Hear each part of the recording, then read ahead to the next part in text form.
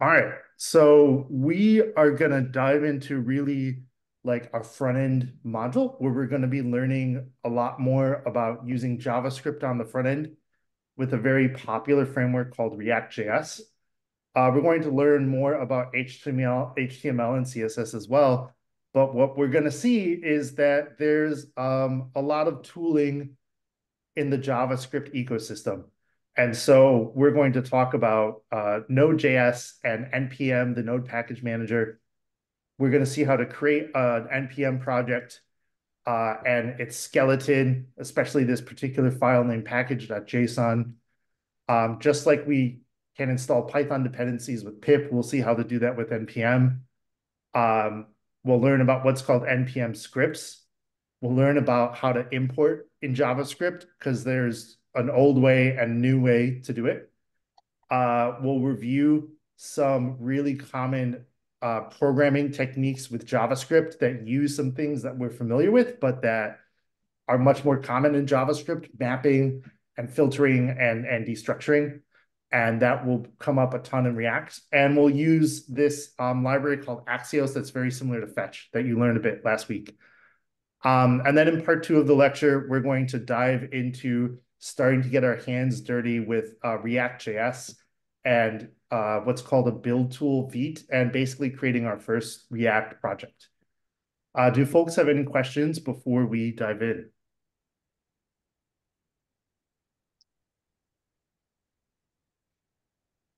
Okay, awesome.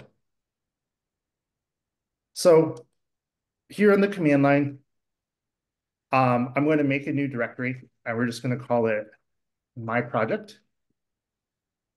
And I'm going to go ahead and navigate inside there. And um, I'm going to go ahead and create a README just so we have it as a reference point. Um, and so this README out here, this one is sort of for the whole lesson. My project is going to be our root directory our project root directory as we talk about um, NPM. And I added the, the README in there for that reason. And let's go ahead and just put that there just so we have it as a, a reference as we do stuff. So NPM stands for Node Package Manager. If I use the which command, I can confirm that it is indeed installed, which it should be for all of us. And if I do npm dash v, I'm passing it the dash v flag for version. I can see what version of Node Package Manager I have installed. Um, and if we go online real quick, and I'll close out some of these older things that we don't need, and we go to npm JS, just like we can go to the site PyPI with pip, um, we can see uh, the website that has a list of all the different JavaScript packages, which is sort of similar to Python modules. If I want to share my JavaScript code with you, these days I will probably do it as an NPM package. Um, and we can find React.js. And if I could, if it would just let us click on it. And we can see here, um, the GitHub repo, we can see it has 23 million weekly downloads, uh, what version it's on, and a, a, quick little hello world here of, of how to use it.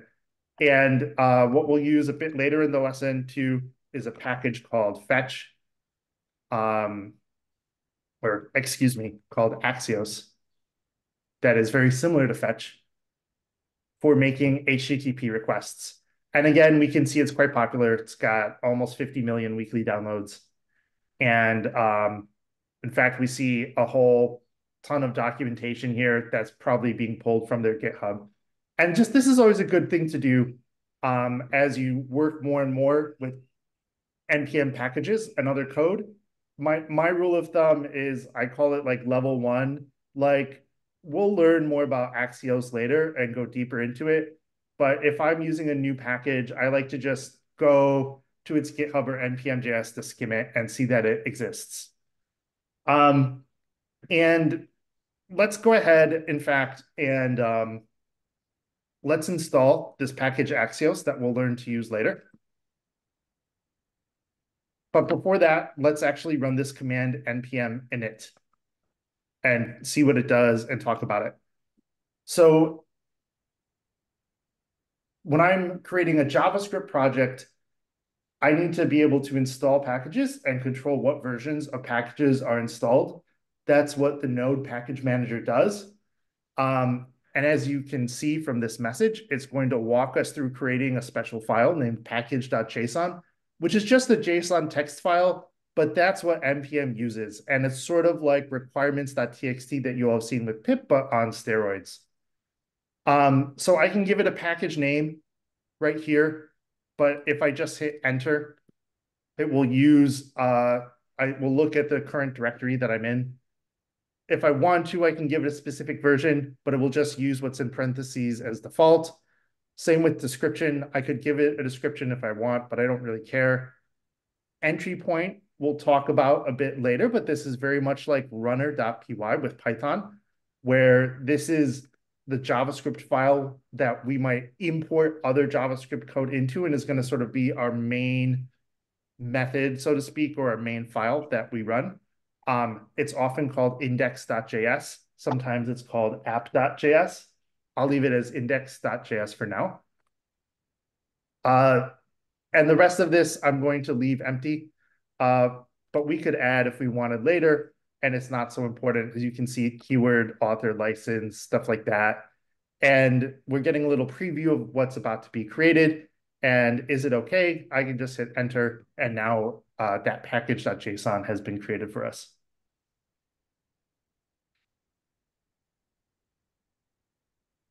So this has done a lot of things for us. We have a project name, we have a project version.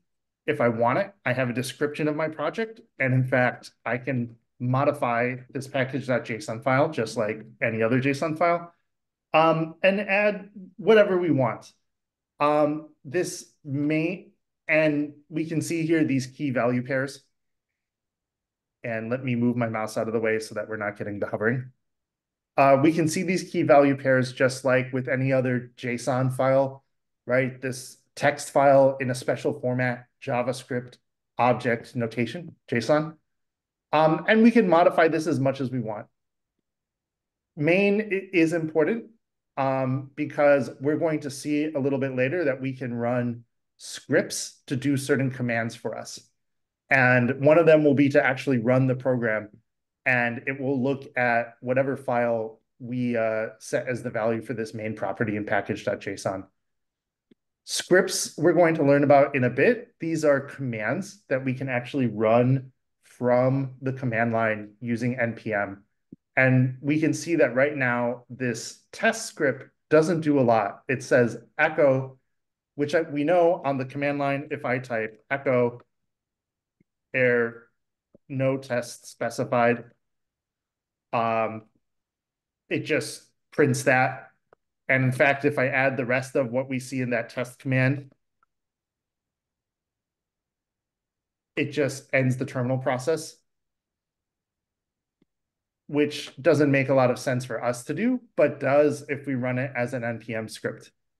And so what I can do is I can do npm run test and uh, I'm getting an error right now because, in fact, I have to navigate back into my project directory. Um, so I didn't do this on purpose, but this is a good error message to see. There's a lot of stuff here, but this is the important part. Could not read package.json, no such file or directory, right? So there's certain NPM commands um, like npm run where it's looking for a package.json because it's going to then look for those scripts. So let me go ahead and navigate into my project. And now let me go ahead and run test. And we see here some information about the script and this message error no test specified. Um, I can add my own NPM scripts if I want. And in fact, let's just add one here that says hello, just for fun.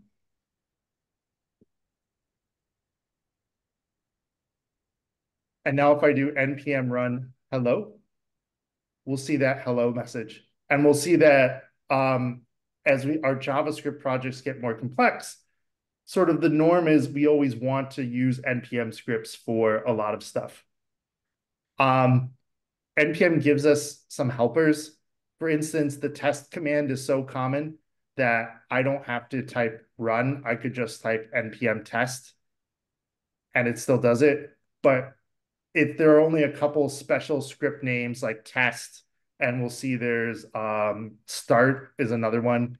If I try npm hello, um, I'll get an error, unknown command, hello, did I mean this? npm run hello, run the hello package script, right? And now if, if I do npm run hello, it should work just fine. And so we'll see more, but here in this package.json, this scripts property, it's another JSON object, and we can add commands here, basically, that we can run from NPM on the command line. Um, and this becomes very useful as our, our programs get bigger. Um, so that's sort of a brief preview of, of package.json and, and walking through what we have here. There are a couple more things that we're going to add to it in, in just a minute, but I wanted to sort of do a bit of a walkthrough. Uh, so I just want to pause and and check in and see if folks have uh, any questions. And also, how are we doing in terms of like lag with audio and video? Is it okay? Okay, perfect. Awesome.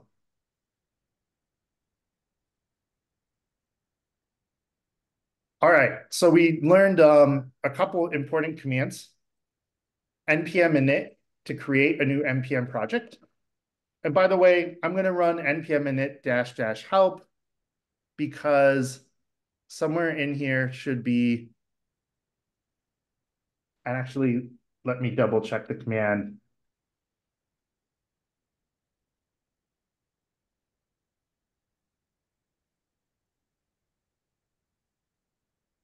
Uh, there is a command that we can run, and I'll find later, that skips the sort of command line prompting.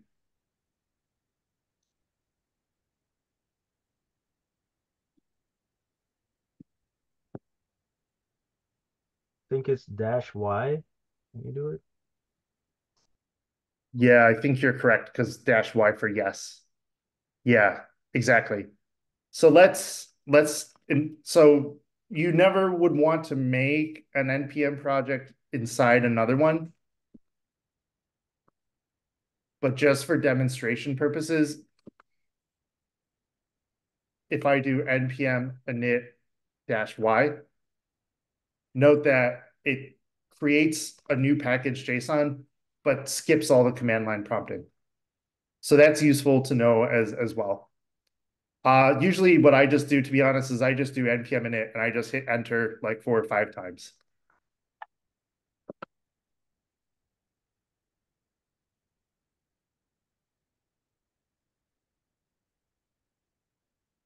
So we've seen that there's some npm commands that are specific to the package.json file, namely um, the, the npm run that looks for these scripts. Let's look at a couple other npm commands that are really useful. Uh, probably the most useful is the install command.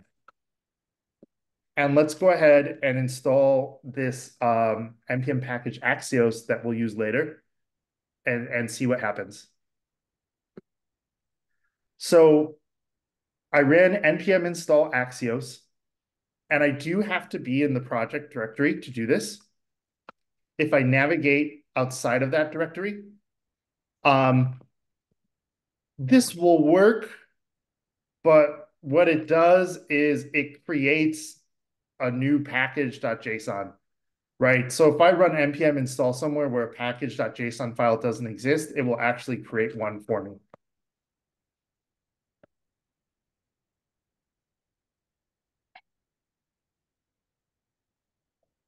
So I, it, it is important to make sure you're in the right directory so that stuff is installed in the right place, which is different than a Python virtual environment, right? And you know, a common question is, and maybe someone can answer this for me. If I have my Python virtual environment activated like I do now, does that interfere with uh, npm and installing JavaScript packages and stuff like that?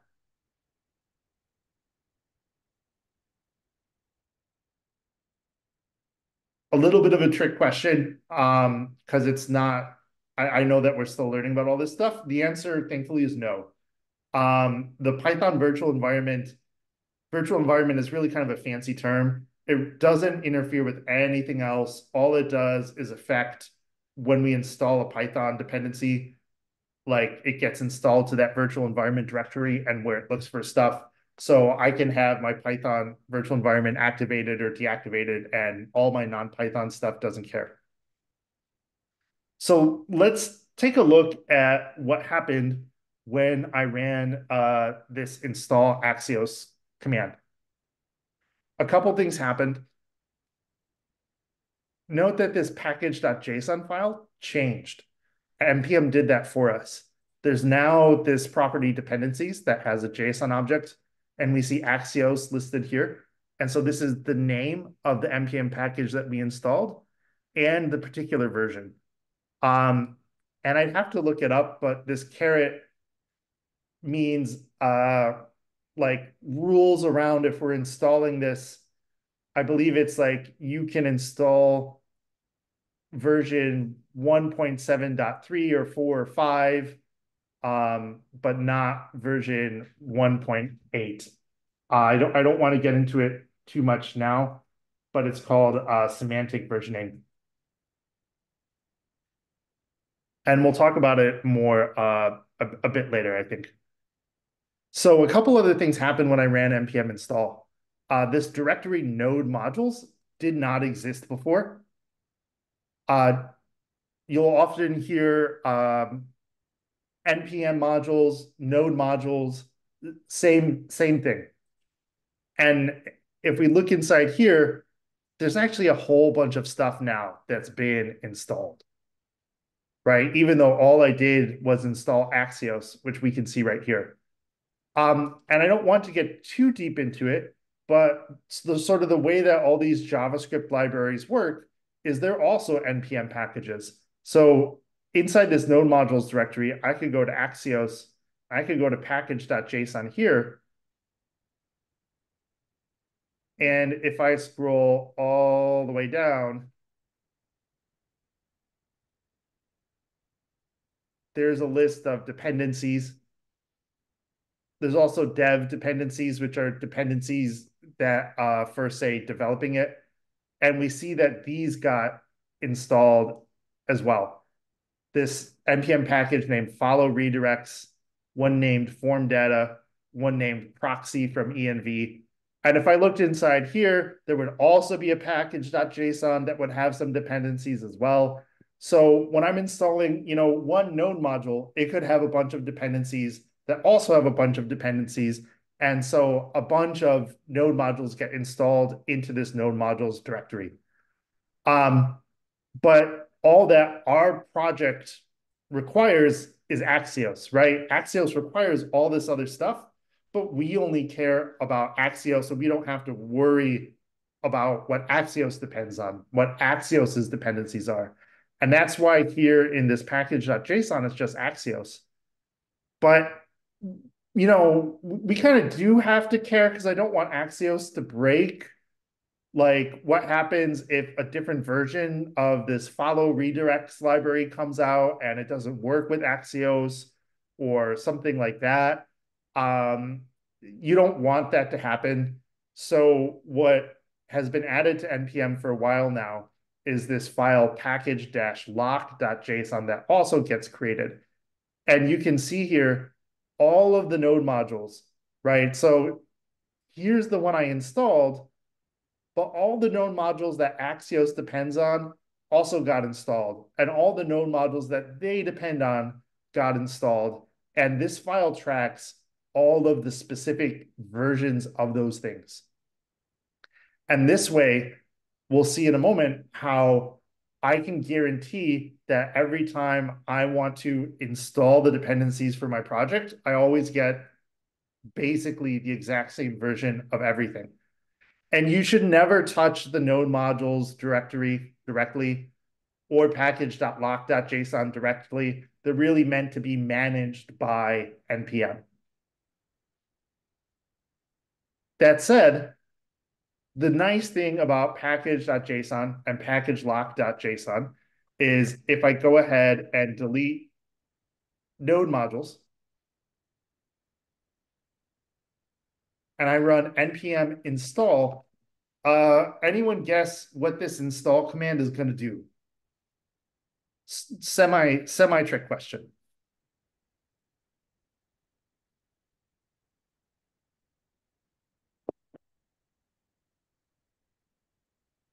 Uh, Eric, yes, sir. Uh, would it install all dependent dependencies if you didn't already have them? Yeah, exactly. npm install is going to look for a package lock JSON file and install all of these dependencies. If that package lock JSON doesn't exist for some reason, it'll look at package.json. So every now and then you might something might get wonky and you might need to delete the node modules directory and that's fine. And, and you might even need to delete the package lock JSON directory, though this should not be a normal activity, but every now and then it does happen. And that's okay too, because when I run npm install, if package lock JSON was there, it would look and it would install the specific versions of all those things but I deleted that one. So instead, it's going to look in package.json. It's going to look for dependencies. It's going to install Axios. And then it's going to look inside the package lock, inside the package JSON file for Axios, and install all of those dependencies. And so on for each of those until all of these packages have all their dependencies installed. So what I do is when I'm working on a project, I don't want to put the node modules directory in GitHub.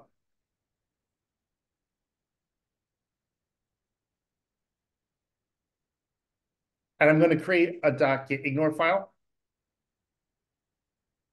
which we can use to tell Git to ignore a certain directory. And I'm a bunch of levels deep because I'm in the demos and notes repo right now.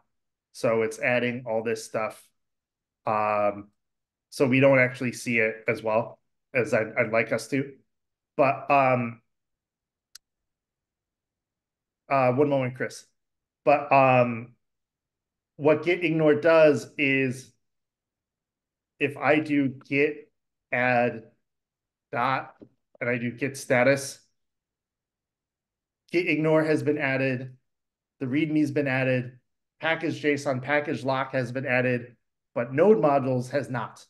And the reason that I don't want to add it is because uh, it takes up more space on GitHub for one thing. Like there's going to be a ton of dependencies that's installed.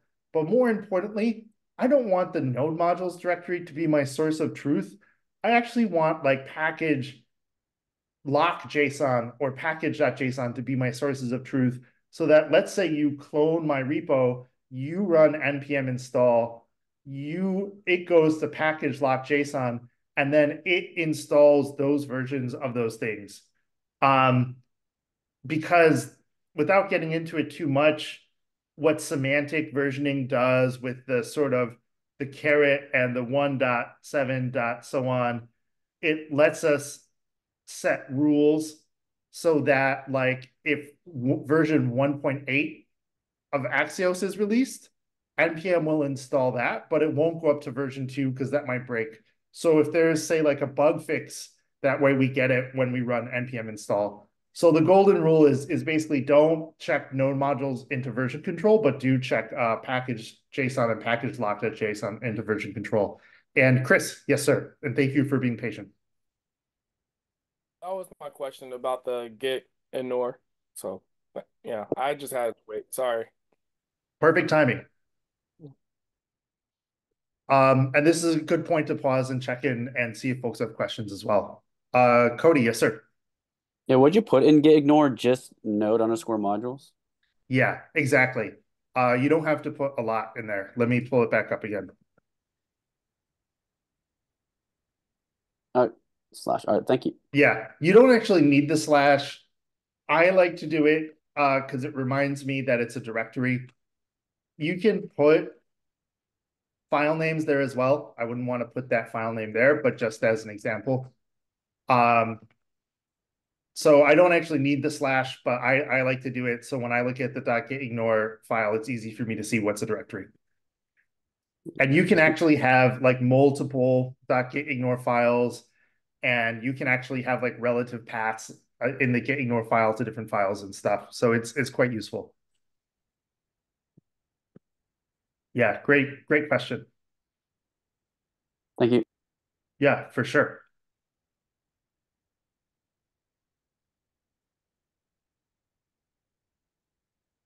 So let's see, we've talked about package uh.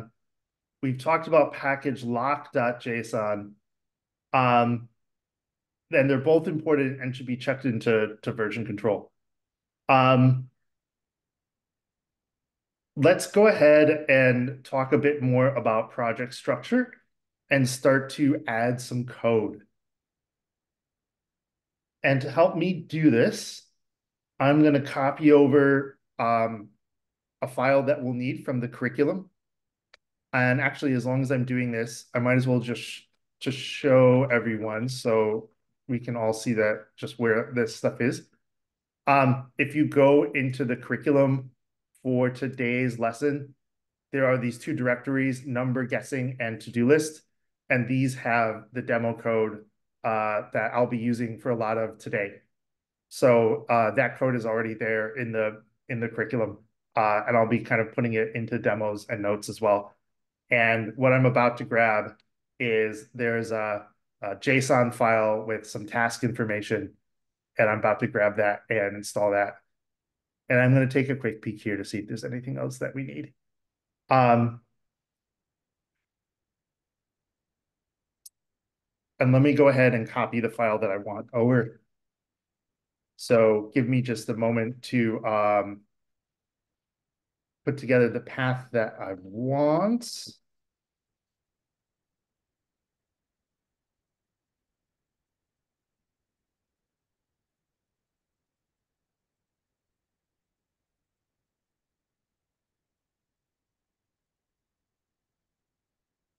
Okay, so now that tasks.json file has been copied over. Um, and we'll start doing stuff with it in just a minute. Let me close uh, some of this stuff out so it, it's not there and it's not bothering us. And let me close out these things that we no longer need. And let's quickly come back to um, package.json uh, just to talk a little bit more about scripts. So we're not, we haven't written any tests yet, but we might want to later right? And if you all remember from week one, Jest is, is the testing library that's very popular in JavaScript. So let's go ahead and install that. But I'm going to add this flag, save dev, because it doesn't matter now, but later on when we get to deployment, um, and you know, keeping track of what JavaScript code we need to have in the user's browser for the front end app and which we just need for development, this is useful, right? Because you don't need to have just the, all that JavaScript code in the user's browser. That's just for us. And we'll learn more about this later, but there are ways to tell um, NPM when we're installing stuff if it should install what are called developer development dependencies or not right? Because again, I don't actually need Jest to run my program, but it is a dependency for tests if we choose to write them. And now that I have Jest installed, let's let's just update this script to use it. Now, it's not going to do anything because we don't even have any tests. And in fact, if I run npm test, it's probably just going to give me an error. And it does because there's no test directory, but that's okay. Um, what might be a little more useful with the script is something to run our main program. And we set that main file to be index.js, which actually at the moment doesn't exist. So let's go ahead and, and create index.js. And the name index comes from like the index.html file, which traditionally was like the very first HTML page for a website that was loaded that had the list of all the other links. So you'll see index.js or app.js used uh, interchangeably.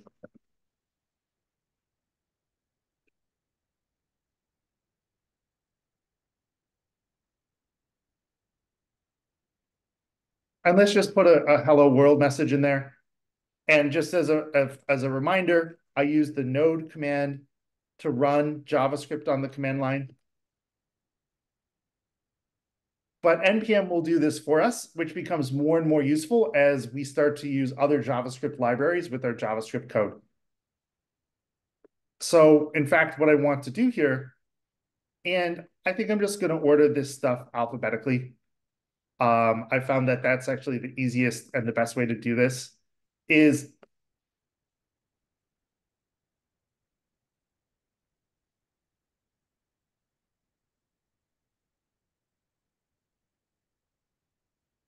I'm going to add a script named start, which is a, a convention. Uh, it's very common to see NPM scripts named start that run your main JavaScript file. So just like test has a shortcut, I can do npm run start, which will now run that command, or I can just type npm start because we're going to be using this command all the time. And I, I do want you all to start getting in the habit of, of using npm to run programs and, and creating a start script. And as we'll see in a bit with Vite, it's going to do it, it for us.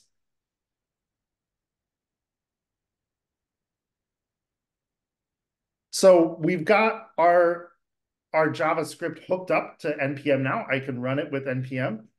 Let's go ahead and let's start adding some code. And I'm just going to add a little comment here just as a reminder to me. Um, I think I'll leave this hello world there just to help me debug as I go. Um, we need to import that JSON data that we have here in tasks.json. Right, I have this file over here that has JSON data, and this is all in the root directory of my project. So all of these are on the same level. So there's two ways to import stuff in JavaScript. Um, the old way that I'm going to show you now is called a, a, a CommonJS module. The new way that's better that you'll be using probably for the majority of the course is um, what's called an ES6 module, just to make life more confusing. Um, and without going too much into JavaScript history, because JavaScript is so popular and huge, uh, the reason there's two systems is because for a while the new way was not supported everywhere, but now it basically is. So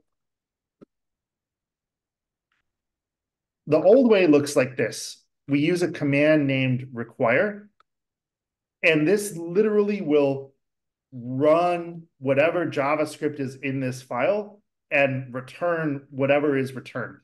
And note that I give it a relative path. And because this is a JSON file, require will take that JSON and let me go ahead and make a split here so we can see this.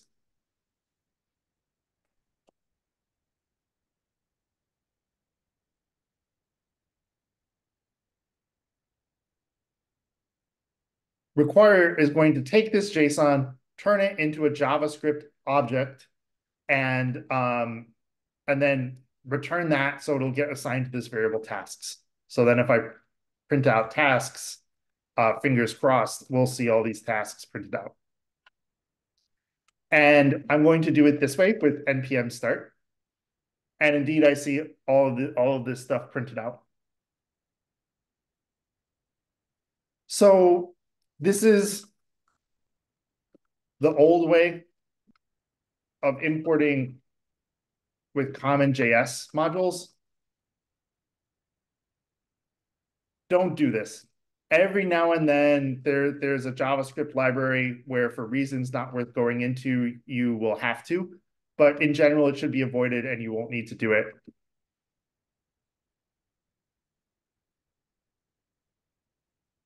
There's a couple extra steps we have to do to import stuff the new way, but let's let's get started. I can use the import command. I can give what I'm importing a name um, if it doesn't have one, and I can give it a relative path to where I'm getting the stuff that I want. And there's going to be a couple of errors that pop up that we'll fix as we go, but let's watch what, what happens. So there's this syntax error, cannot use import statements outside a module.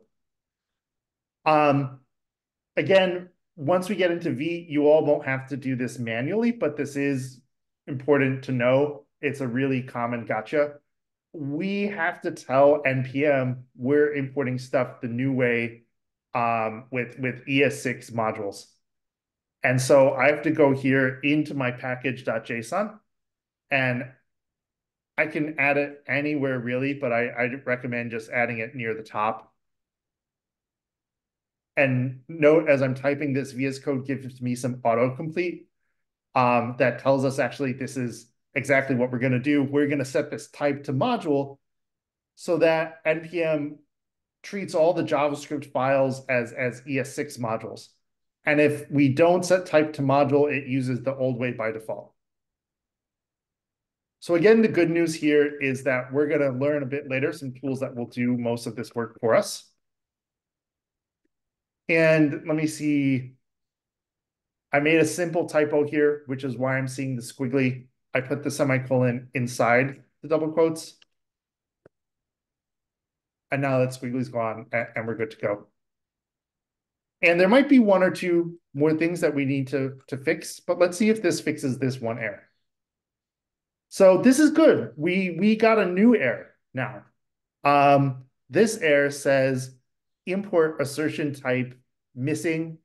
Uh, there's a whole lot of stuff here, but if we read the first two lines of this error message, we see module file blah blah blah blah blah blah blah tasks.json needs an import attribute of type JSON.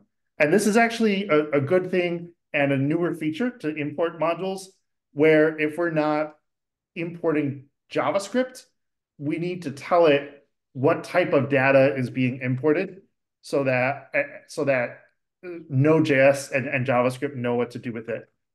And this really only comes up, um, it mainly comes up with JSON. I, I need to check, to be honest, if it comes up with CSS files or stuff like that, but we'll get into that later. And so what I do here is in my import statement, I add this uh, bit assert, and then inside an object, I say type JSON.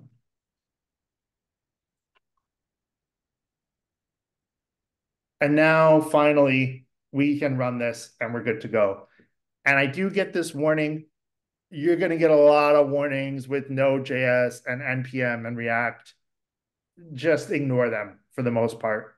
Read them every now and then. A warning might be important, but most of the time you can ignore this.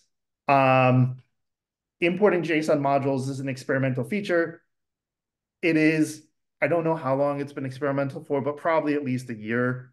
So this is not that relevant for us. Um, in general, you can ignore warnings.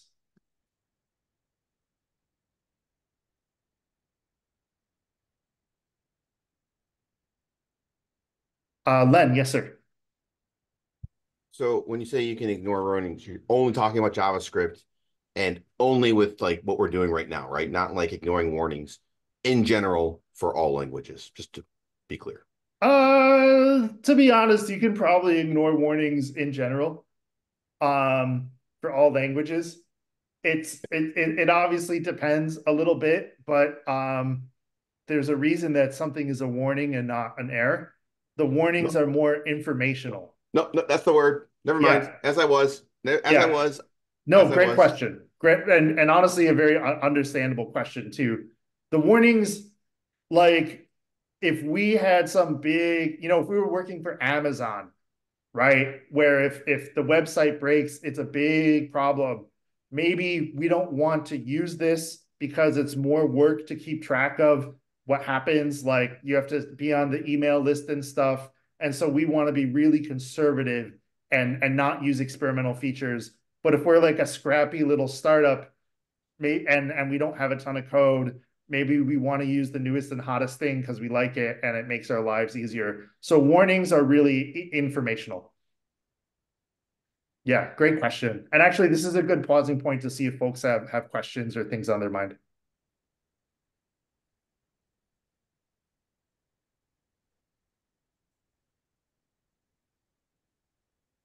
Okay, awesome.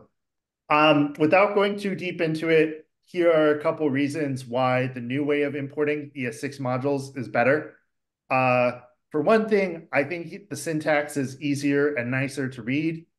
For another, it lets you do things like assert to check the, the, the type of data you're importing if it's not JavaScript, which makes it easier to catch errors.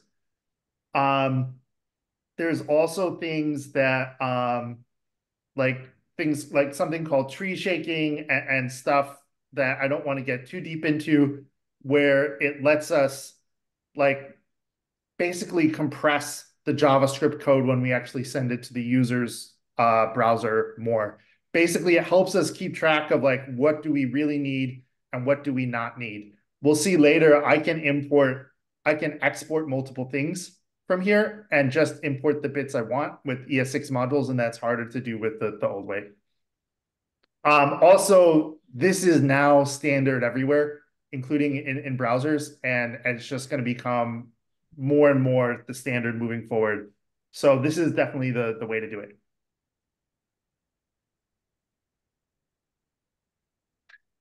Okay. Um, how are folks doing? Has this been sort of a good review slash intro to NPM and, and Node.js projects? Awesome. We're going to switch gears a bit and do a bit of JavaScript coding. Some of this will be review. Um, some of this will be newer stuff. Um, and I think what we'll do, because I the the assignments that we have for today are a bit more geared towards um, stuff when we cover React is um, I don't think there's a good hands-on workshop for today, but I'll try to make it more interactive and uh, we'll we'll take breaks. And in fact, we're almost at like uh, 950 now. Uh, how how do folks feel about just taking a 10 minute break now and then we can kind of dive into the next part when we come back? Perfect. All right, let's uh, take 10 or 11 minutes, depending on what your clock is, right on the hour at uh, 10 o'clock central. We will pick this up and we're going to look at filtering, mapping, using these features of the JavaScript language and going through it, and then maybe even making some uh, API calls with Axios. So thank you very much, everyone, and I'll, I'll see you all in 10 minutes.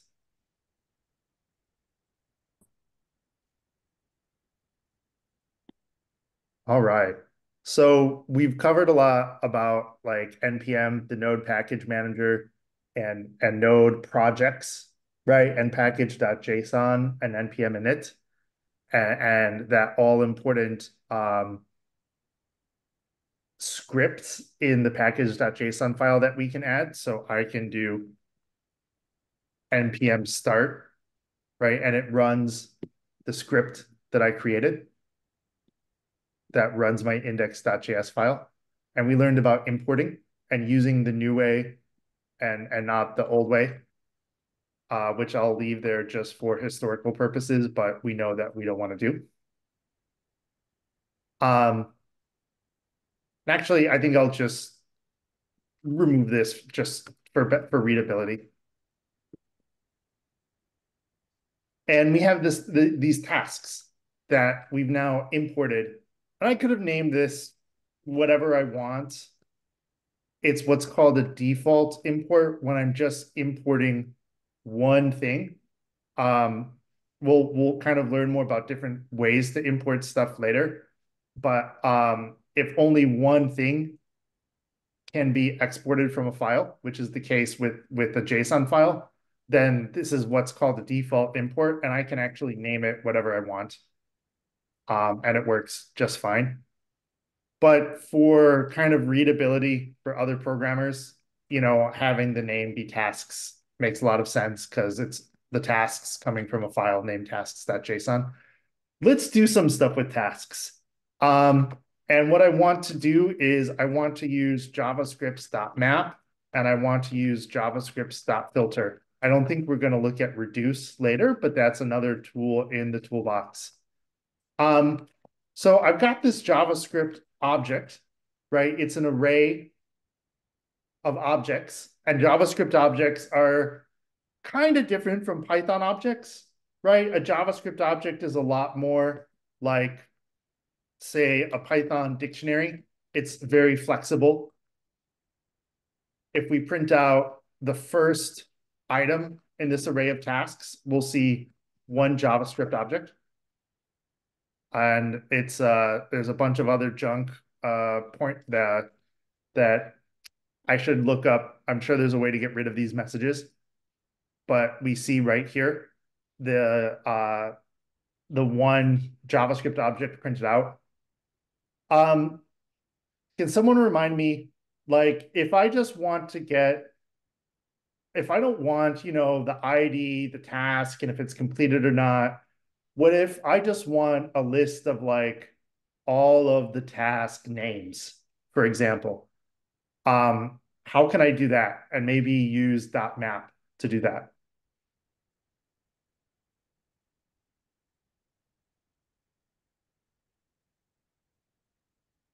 Can anyone remind me what does dot .map do in, in JavaScript? I know this is feels like a million years ago from week one. Brandon, yes, sir. Does it do something to each element of your iterable data structure and then return a new data structure? That is exactly what it does. Yes, Oh, that was a great yeah. breakdown. So map, the idea is, I guess if you think about like mapping one thing to another, it, it's I think maybe a little bit of a math term. Map goes through each element in my array. It does something to it and it returns it back and I get a whole new array.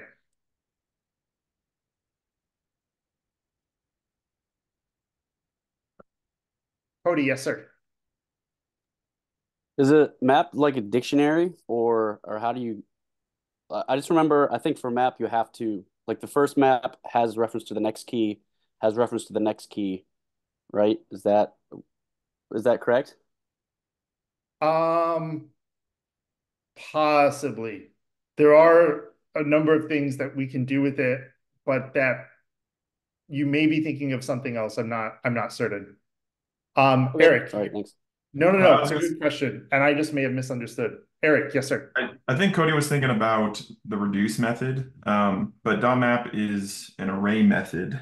Um, and are you looking for like creating a new object with just, I don't remember which key you wanted, or were you looking for like a list Yeah, of?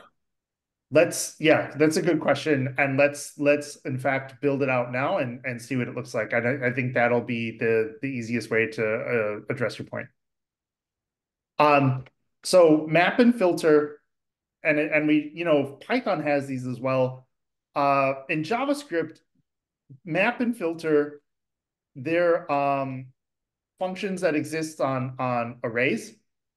So I call the dot map function on this uh array. Um, and I pass it another function as an argument. And I'm going to pass it an arrow function. And just as a very quick reminder, an arrow function, it's sort of a very similar idea to a Python lambda. It's an anonymous function. You can write it in one line and it can look something like this.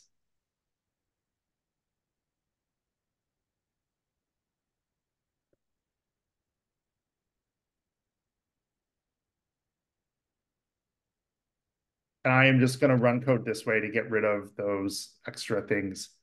And I'm probably getting the error from the dot map because I haven't added anything to it. And if I scroll all the way up here, we get my hello message. Um, so an arrow function, if it's just one line, I don't need the curly brackets. If it's maybe more than one line, I do need the curly brackets. Maybe we want to have it look like this instead. Maybe I want to pass in an argument, name, and maybe instead of printing it, I want to do something like this, where I'm going to construct a message with uh, a tagged template literal, which is JavaScript's version of an F string that looks like this. And say, hello, person, and return the message. Now, I could do this all in one line. I, I am doing this in two lines for demonstration purposes for arrow functions.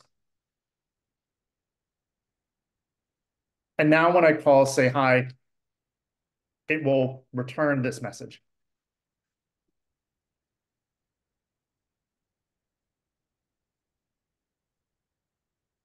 And it would help if I passed in an argument. That's why we see undefined here.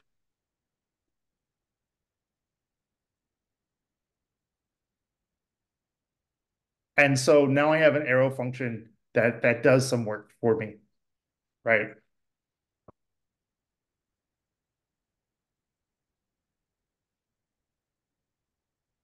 So arrow functions are really useful because they're just more succinct. And so for stuff like dot map, it's really nice to write arrow functions. And when I'm passing in an arrow function to dot map, it always takes as an argument uh, each thing in the list. This is going to go through the whole list and pass in each item in my list. So this gets passed into dot map first. This gets passed in second. And what this function is supposed to do is return an object. And so let's say I want to make a new object and have it, or let's say I don't want an object at all. Let's say I just want to return the name of the task. And I believe it's task.task. .task.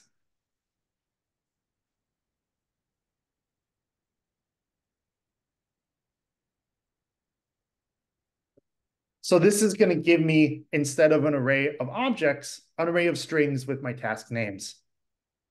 And let's run this and, and see what this looks like. And it would help if I didn't have typos in my code. So let's see what I got wrong here. Um, I'm so used to writing Python. I forgot that I need to define variables with const or let in JavaScript. Uh, let start with const let is if I know I'm going to change the value of a variable. And now this runs and, and, and it works. And what I can see right here is now I have an array of task names. And this is really useful, right? Because maybe I want to show this to the user. Maybe I want to do something else with it. Um, map is very useful. And what I haven't done is modified the original array. I've created a whole new one. Because if I print out tasks here, I see here all this stuff is printed out that that is still tasks. So that's just sort of a review of, of .map and, and what it can be useful for. Um, let's break this down even a bit more. Does anyone remember object destructuring from JavaScript? We saw this a little, but not a lot. Uh, Brandon, yes, sir. I believe it's object entries, but you have to call, yeah, you have to call object dot your object and then dot entries, something along those lines. It's a it's a few extra steps in JavaScript. Yeah, you are totally correct that that is um one way to do it. Um, there's a couple different ways to do uh, object destructuring in in JavaScript. And I think and I'm kind of looking over notes here to make sure that I demonstrate the right one that I want. Um, we can totally do object.entries. Um, another way to destructure objects specific to, say, functions is actually in the, the function argument. What I can actually do, and this is sort of syntactical sugar, is right here, if I'm passing in an object as an argument, I can say the properties of that object. And JavaScript will do the destructuring for me right here. And I'll add some console logs just, just so we can see stuff.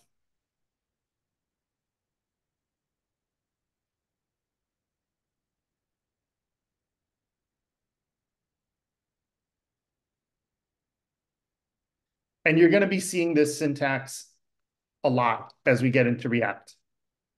Because we're going to be doing a lot of passing objects as arguments, but I only maybe I, I really want to just use the properties of that object. So I can use this sort of syntactic sugar to destructure this object to create variables for each of its properties.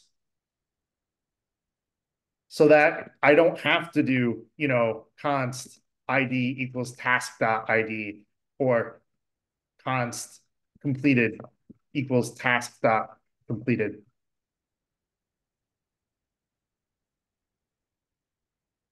Right? I could do it this way.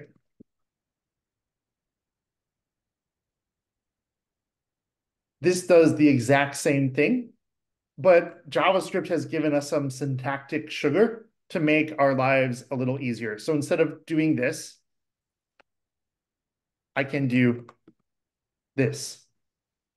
And let's just run this code to, to see that it works. And, and um, I'll make this a bit bigger here.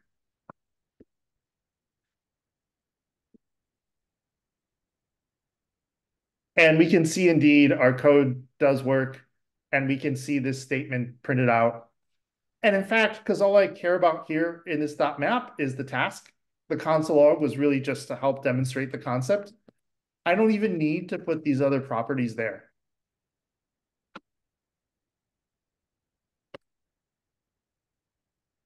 I can destructure and only grab the property that I care about for a very succinct notation.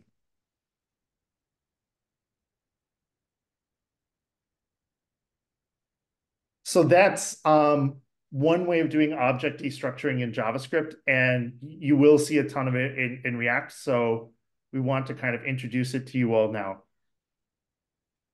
Um, and I just want to pause and check in and see if folks have any questions.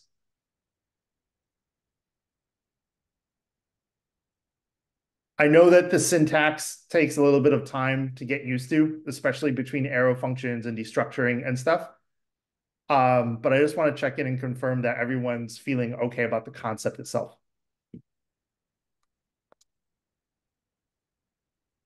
Let me pull that off of the main screen and just double check our X-ray questions channel.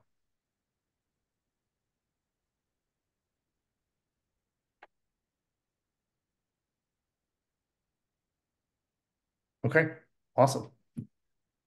So it, gets even more succinct um, I won't do it too much now, but you can you could turn this into a one line statement.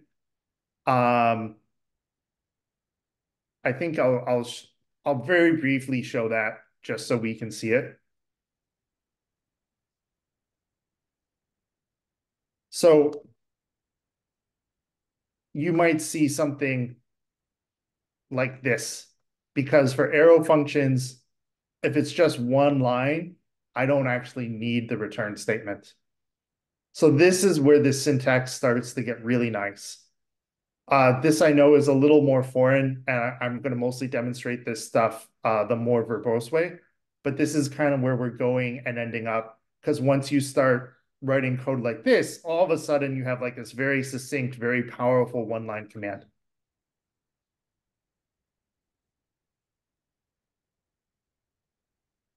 And in fact, I think maybe what I'll do is we'll put it there.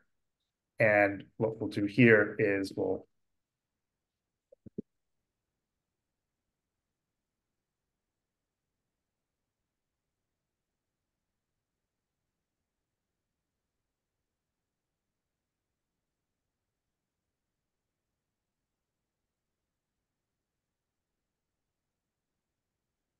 I'll have both of them, both of them there. Um, the main thing with arrow functions is if it's multiple lines, you need the curly brackets. So let's talk about filter. And can someone remind me, what does this filter method do to an array?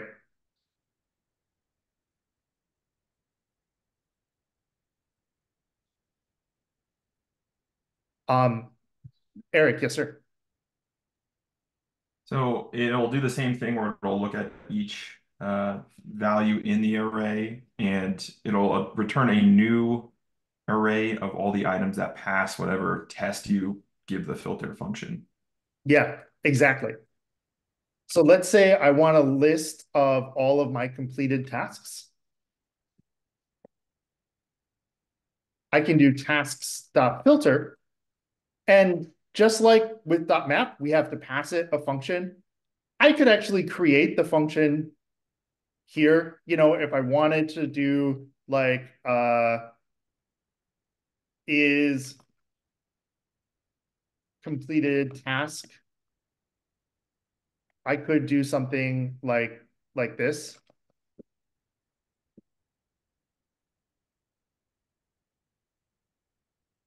And I could pass that in.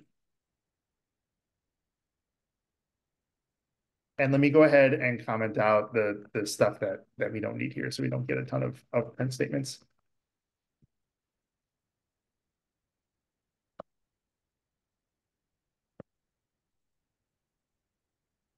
Right, filter takes in a function as an argument. This should work just fine for us. And if I scroll up through my, my output now, I see indeed I only got the completed tasks.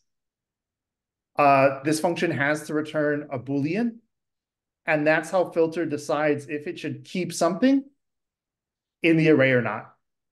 Since completed is already a Boolean, I just need to return that. And again, the tasks array itself is not modified. Filter returns a new array. So filter um, filters out items in array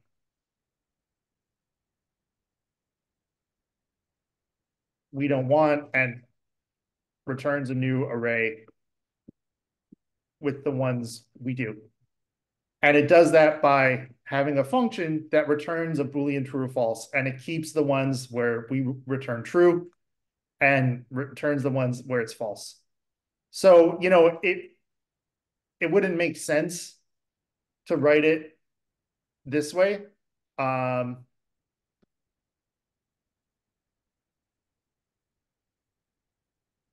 because this is way too much work for something that we're already doing. But just to make, to lay out the logic, right? This is what this filter function needs to do is return true or false. But since completed is already a Boolean, we can just do that. And again, let's do some object destruction here, just, just for fun and to get practice at this. And if I run my code again, I see that I forgot to change something here. And in fact, I had a squiggly. So I can go ahead and, and fix that. And I, in fact, see task is not defined and it pointed me right to the line in my code that had the error. And we see the completed tasks. And again, this tasks array has not been modified. If I printed this out, we would see all the tasks. So again, I've got some object destructuring here. Um, And in fact, instead of a function, let's make this an arrow function so we can get more used to this syntax. And we can see it put right here. And in fact, let's make this a really succinct arrow function. Let's make it a one-liner like we know, like we learned that we can do. And it looks like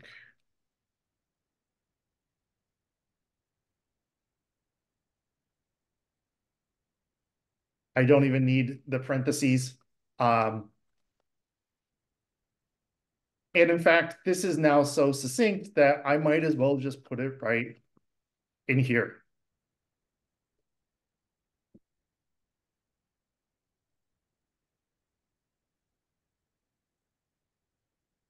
And it looks like I maybe need a closing parentheses. I see my syntax error. I forgot the argument I pass into my arrow function does need to be wrapped in parentheses, especially if I'm doing object destructuring.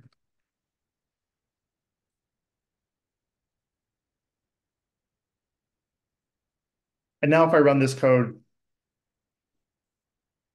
we get a list of completed tasks.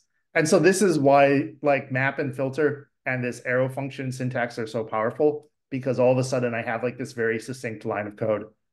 Um, and I could do the same thing for incomplete tasks.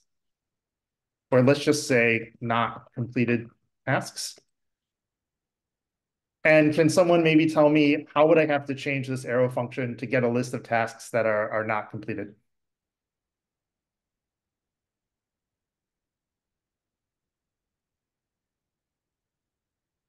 Any guesses? Any thoughts? I think. Oh, um, uh, Murad, go for it, and, and then Earl John, Uh, I'll, I'll check in with I, yourself I, as well. I, I think I'm gonna flag it to uh, false. Yeah, exactly. We can just add the exclamation point to flip it to false. And Earl John, uh, what what were you going to say as as well? I was just about to do the same thing. Love it. I love it. Great minds. Yeah, exactly. We can just add that exclamation point. That's the Boolean that flips this from true to false. And now I've got my completed tasks and my not completed tasks.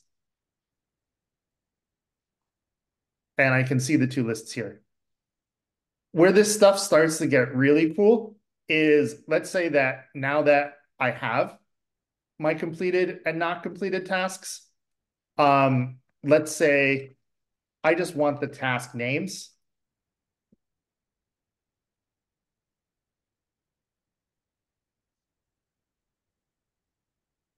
Well, let me go ahead and just do some more filtering. Um, and I used const here. So I, I need to, I think I'm just going to do another const and we'll call it not completed names and we'll do not completed tasks. And can someone help me out? How can I use dot map to just get a list of the names?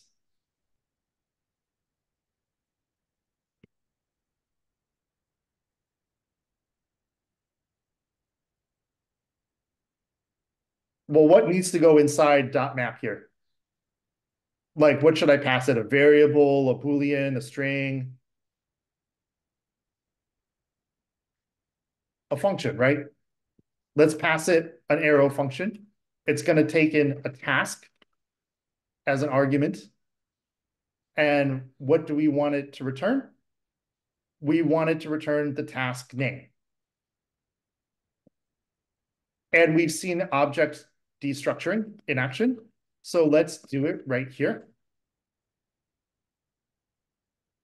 And let's print not completed task, uh, not completed names. And so fingers crossed I don't have an error. If we do, we'll see and we can debug it. And indeed, there is something that I got wrong. Um, let's see what my issue is. Name is not defined. Ah, very simple mistake on my part because I just keep thinking task name, but that's our property is actually named task inside that task object, right? And in fact, VS Code was giving me a hint there. And so now if I run this, I get a list of not completed names. And we can do the same thing here, in fact, right? Let's do const completed names equals completed tasks dot filter, or I'm so sorry, dot map. And let's create our arrow function and do a little destructuring to get task and return that. And let's print that out here.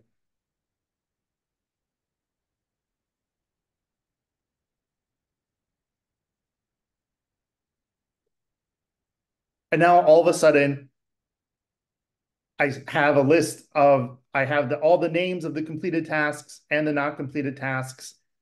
And I still have the original list of tasks if I want to do stuff with it. Right, that original task list has not been modified. I've created two new arrays. And I think the last thing I want to show with this before we move on is, is what's called method chaining, where because this returns an array, and then I call another array function on my array, JavaScript has given us a very nice syntax to combine these together so I don't have to do multiple lines of, of code. And let me close this out because we don't need this right now. And I'll call this not completed names. So this looks like a lot, but I'm calling dot filter and it's returning something. And then JavaScript says, oh, okay, we've returned an array. And oh, I see you want me to find that property not completed and uh, and call dot map on it. Actually, let me fix my syntax here. So it should look like this. So I called dot filter on it, and then I call dot map on what the filter returns. And I can chain these methods together.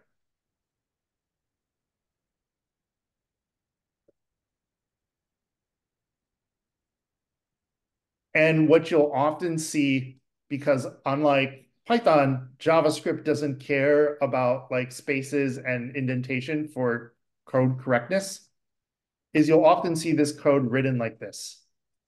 And if I always think of it as like, again, my data is flowing through a series of tubes. We filter it and then we run dot .map. And so this is a bit more complicated in terms of syntax because there's more going on.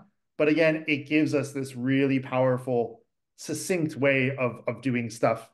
And there's nothing wrong with doing it the more verbose way. And, and in fact, I would encourage you all to do it if you're more comfortable with it. Um, as you read and write more JavaScript code with React.js, you will see more JavaScript code like this. So we want to introduce it to you all.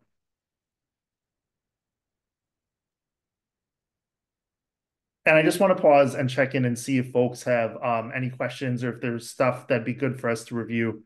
Because at this point, we are going to switch gears and start talking about Axios and, and making API calls, kind of like we did with Fetch last week. So this is a good touch point before we move on.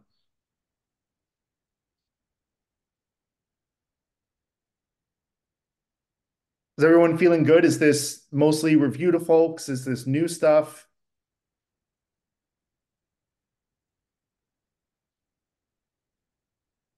Okay, awesome. Let's take five, um, since we are going to switch topics, and then we'll start talking about um, Axios and and the Pokemon API and using Axios, and then we'll also look at React and um, Vite and and see React.js that we're going to be using for the next week, um, and do a little coding together. And I think we can wrap a little early so that you all can have a, a little time to get started on the assignments. Um, so thank you very much, everyone, and I'll see you all in five minutes.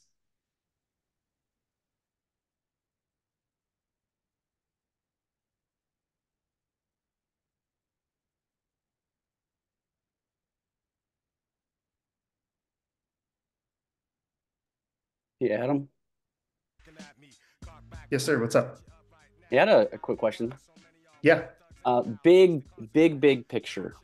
So this is basically going to teach us how to track tasks that we want to do in our like. So yeah, like in like 30 seconds, big picture. What is this doing for us in our software engineering development life cycle? Got it. So JavaScript can be used for kind of your backend server code, but that's not how we're using it in this course. We're using it with React.js to build the user interface that's going to run in the browser. So let's say we're building a full stack web app, and let's say instead of tasks, it's like a recipe list, and the user logs in and wants to see like um, a list of of all the recipes that, that that they've added or that are there.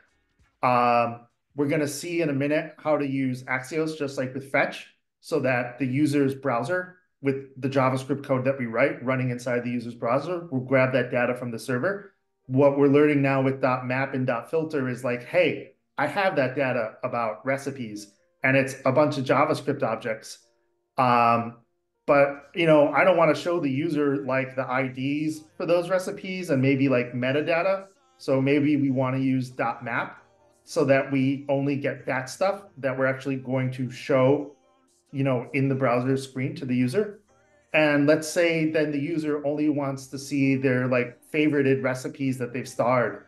And just like with tasks completed, that could be a Boolean as well. So they click a button that says only show me my my favorite recipes, and we run a bit of JavaScript code that does a filter to only show those. Does that was that good? Too much? Not enough. No, yeah. I could I use some some feedback. No, yeah, that was perfect. Thanks. Yeah, it makes sense. It's basically data manipulation for front end, since I guess we're doing front end this week. So, yeah, that answered it. Thank you very much.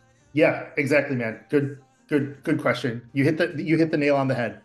Data data manipulation, which we, we need to do on the back end too. But since we're using JavaScript with React for the front end, that's where you'll be using th th these particular things more often.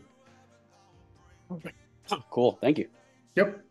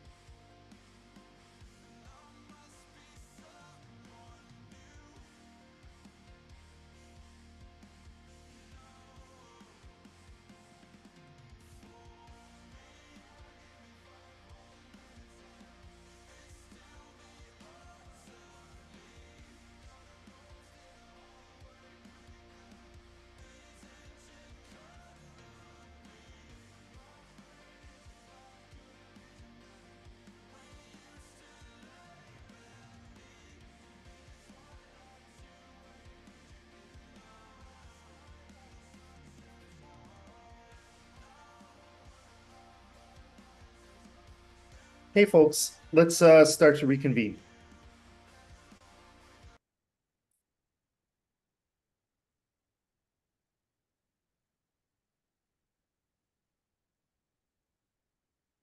All right. How's everyone doing? Um, I saw some thumbs up before with that stuff, and, and it would just help me to, to understand and to make sure that I'm tracking. Was that a lot of review of things that we've seen, or was there some new stuff introduced there? What if it was review, was it useful? A little bit of this, a little bit of that, and yes, it was useful. Okay, awesome. Glad to hear. And it's just again helpful because I know we introduced this stuff in in week one and you all got some hands-on time with it. But I also know that we've been doing a ton of Python until last week, basically when we kind of switched back to JS. Um, let me go ahead and share my screen and uh I apologize, I actually forgot to pause the recording, so we're still rolling, but I think that we're good to go. Um, and someone actually had a great question, which was like, hey, how is this stuff being used? And, and I gave a long answer, and then Cody did a great job of summarizing it. Uh, this is all going to help us manipulate data on the front end for the, the user interface in, in the browser that we're going to build. So we've covered a lot of ground, right? We've covered Node and NPM, creating an NPM project, package.json, uh, installing dependencies, the package.json and package lock.json file, scripts, how to import stuff. And we just kind of did a pretty not solid walkthrough of, of mapping, uh, object destructuring when you pass in an object as an argument and filtering in JavaScript. We're going to take a look at Axios to make some API calls for everyone's favorite API, the Pokemon API. And then we're going to dive into part two, where we're going to learn about React.js and, and Vite. And I thought a nice way to go into Axios might be, and to sort of review part one, let's let's make a new npm project and then write our our code for it there so i'm going to do a little bit of sort of like group coding um, where i'll be driving and kind of prompting folks but i'd like you to help me along so let me make a, a directory and i'll just call it pokemon project and let's let's work out of here and I'll put a README in there just so we have a, a nice frame of reference, and we'll call it the Pokemon project. And let me go ahead and close all this other stuff out. So how do I create a new NPM project here? Because we're going to want to install, right, some node modules. And uh, I apologize, folks. I realize actually I didn't share. Is everyone seeing my screen right now? Okay, perfect. You didn't miss much. I just made a new directory, um, Pokemon project, and put a README inside there, and that's where I am right now. So how do I create a new NPM project?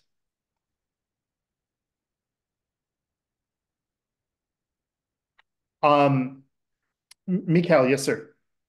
Uh, npm init dash y. Yeah, I love it. npm init and we don't care about writing all the stuff. So let's do dash y. Awesome. And now it's created a package.json for me. Um, I know that I want to use the newer, better way of like importing and exporting with JavaScript, uh, ES6 modules. I kind of remember I need to do something to package.json to make that happen. Could someone maybe tell me what that is?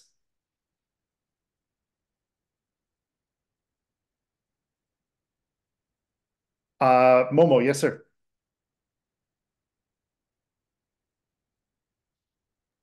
npm install uh? Uh, we are going to need to do that as well. For sure. Um, that's going to install this program Axios that we're going to use, and it creates the node modules directory and does a lot of other good stuff. But let's say I want to, and let me actually we'll come back to that one. Let's build this out a bit more, and I'll I'll come back though. I I did see a couple other hands up, um, though I missed who it was. So if if you had your hand up, uh, feel free to jump in. Yeah, that was me. I was gonna say, I believe it was uh, you set the type to module. Yeah, exactly. And we'll see in just a minute um, why we need to do this. But if I want to be able to say like import and import stuff the nice way, I have to add this to my package.json.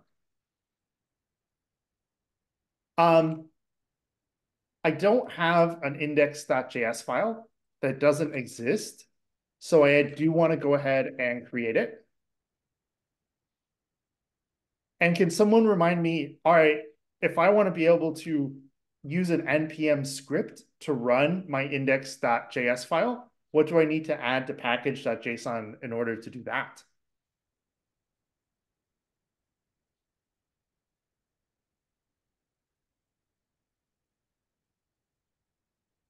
So instead of typing node index.js, which there's nothing in index.js right now, I want to be able to do like npm run whatever, let's say start. What do I have to add to package.json? Uh, Daniel, yes, sir. Uh, I believe in the scripts you put the name start. Yep. And you put the semi uh the colon and then you put the index.js. Very close. I need to give the full command that we would run on the command line. So if I just do index.js, and let's go ahead and let's put like a hello world and index.js. So just so we can tell when this runs or not.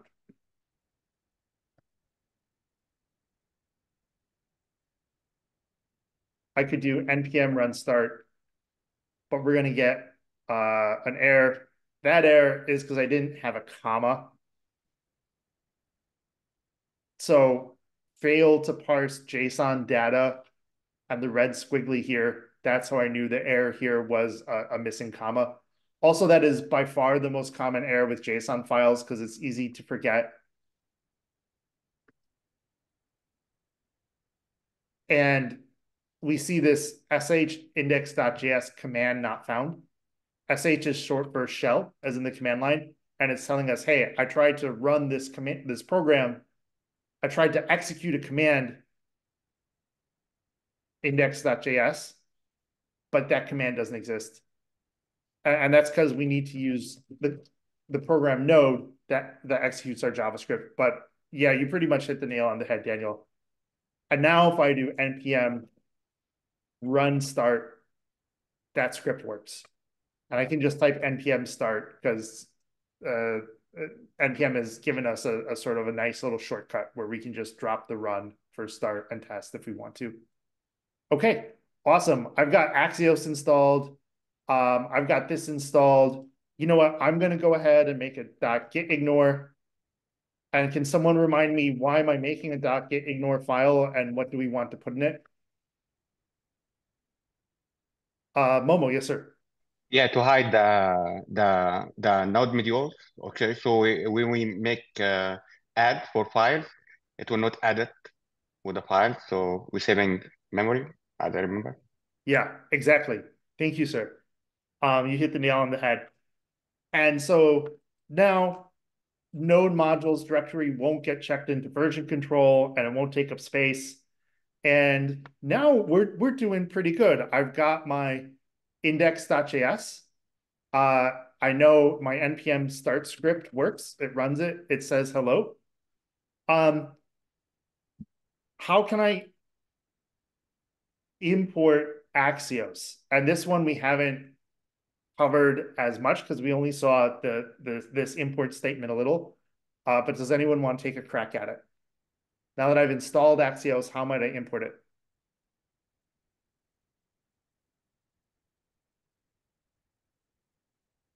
Yeah, and we're still kind of seeing how to do this with JavaScript, so this is good to see. Um, so with the import statement, it's always going to be import and the name of the thing we want to import. Um, and in fact, what you will probably want to do is you will often want to just go to like the docs for the library in question because they'll tell you how to install it. Um, and then they should give an example of how to use it. So here's the CommonJS usage. Um, let's see if they have. I don't even know if they have the ES6 module usage or not. Um, in fact, they don't. And so this is why it's good to see both. Uh, there might be some reason they kind of want us to prefer the old way, but the new way should work just fine. So let's let's start with the new way also for demonstration purposes. Um,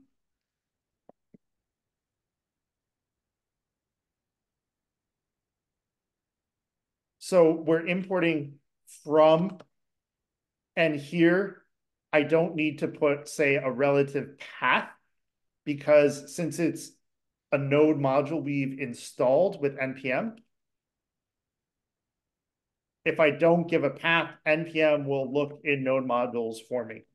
And it will, and and this you just sort of have to know, but that's where the docs are good and and and why that's a good guess. Uh, honestly, ChatGPT is also good as well, like import Axios with ES6 module. I normally Google this stuff, but ChatGPT does do quite is, is quite good at this. Um, so sometimes you'll have to check this out because sometimes we'll see it later, but there might be like multiple things to import. And it looks a bit like this. But that that we'll kind of look at that a bit more later. So we've imported Axios. Um, Axios is a lot like Fetch. So we can use it to make an HTTP request to the Pokemon API. And in fact, let me head over there right now.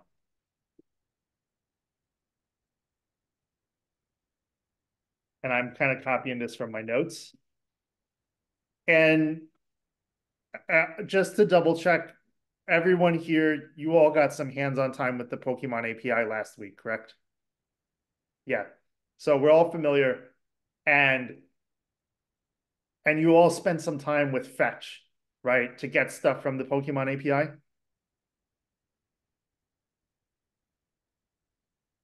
And maybe talked a little bit about like promises. Async await. Did we talk a little bit about async await? Can I get like a thumbs up, thumbs down? Yeah. So Axios basically does the same thing as Fetch. Um, it offers some functionality for us that Fetch doesn't have. Axios uses promises by default. It gives us something called interceptors that are a little more powerful for working with requests and responses. It has better compatibility if we were going to write some JavaScript on the back end, and it has better error handling. So moving forward, you should probably always use Axios instead of Fetch, though you'll need to, uh, unlike Fetch, you'll need to install it. And the good news is you can use it very similarly to, to Fetch. Um, and let me go ahead. I'm just going to make a, a placeholder for this URL, um, mainly just so I don't forget it we'll we'll bring it back later. And I think I'll put my hello world up here just just so it's there. And just like with fetch, we're going to make an HTTP GET request to this URL. Um, it's got to be an async function because it's using a promise under the hood. So JavaScript has to know like, hey, it's going to take a while for this to come back wait till we get a response back before we try to do more stuff. And it would help if I got my syntax right because it's an arrow function and then we are defining an async. We are defining an async arrow function and setting it to that, that variable. I'm going to put everything in uh, a try catch block so that if there is an error with the request, that we can deal with it later. I'm just going to put the, the URL there just, just so I have it, just to make it a little easier to read. And let's actually use Axios now. And it's pretty straightforward. This should look pretty similar to fetch. And I'm just going to pass in the URL. We want to make that HTTP GET request to. And let's print out the response. And we'll play with this response in a bit more. Um,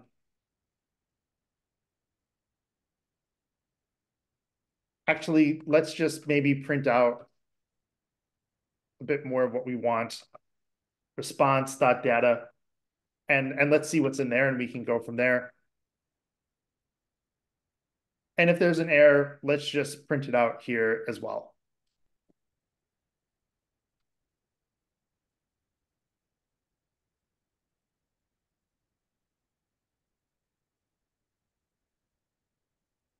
And I think I'll just add another console log here, just so I, I can see what's going on. And we'll just like making get request to URL.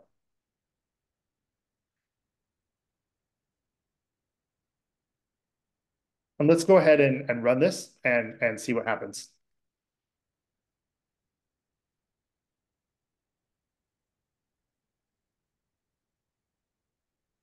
So I got back undefined, and, and that tells me I'm probably doing something silly here that that's easy to fix. Um, so I think my first rule of debugging is is simplify. I try to simplify stuff or comment stuff out until I start getting some data back. And so this is good. I'm seeing, oh, I'm getting back promise pending. So that tells me, indeed, we got some sort of response, but I'm actually not handling it right here. Mikhail, yes, sir. Is it the await in front of Axios? Yeah, that would totally be it. Thank you so much, man, because I think I was going to take a couple steps to get there. Um, and this is actually really good for us to see, but I, I did not do this on purpose, so I really appreciate it. Uh, that is totally what's going on because async and await are what tell JavaScript that we're dealing with promises. And so the fact that I'm getting this response is promise pending tells me that that JavaScript was not handling the promise correctly here. Like when the response came back, it wasn't actually taking that promise from a pending state to a completed state.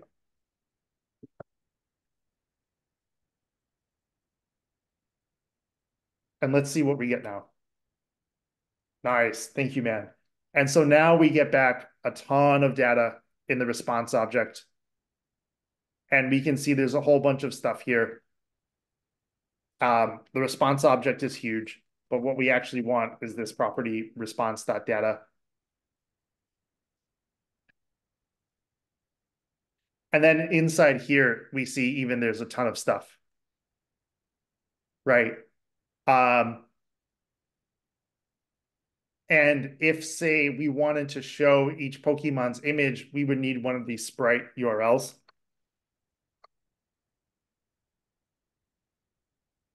Right, and that's the back of my Pokemon. So let's let's grab the front default image for the Pokemon. Let's let's grab the front sprite default. So it should be response.data dot sprites. And sometimes what I'll do when I'm if I have a ton of this, I would just copy and paste this whole thing into like a file somewhere so it's easier for me to read, like just a scratch file or a text file or something like that.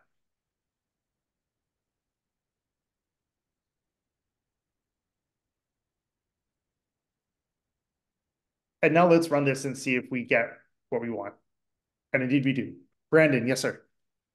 Um, wouldn't so I I know you mentioned uh, copy pasting to try to like sort through the data, but isn't the point of doing like RESTful API and having proper documentation supposed to prevent you from having to go through that? Like, wouldn't most documentation tell you like, hey, if like if you want this, here's a list of things, et cetera, et cetera. Yeah, that's a great question. And ideally, yes. Um, the Pokemon API, I think its data is pretty good.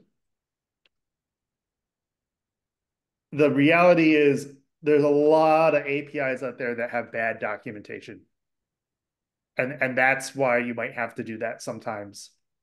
Um, also, again, the Pokemon API is extremely good, and I think it is up to date. Um, even this, to be honest, if I'm if I'm reading this, sometimes just to keep track and also because Axios adds a little bit of wrapper.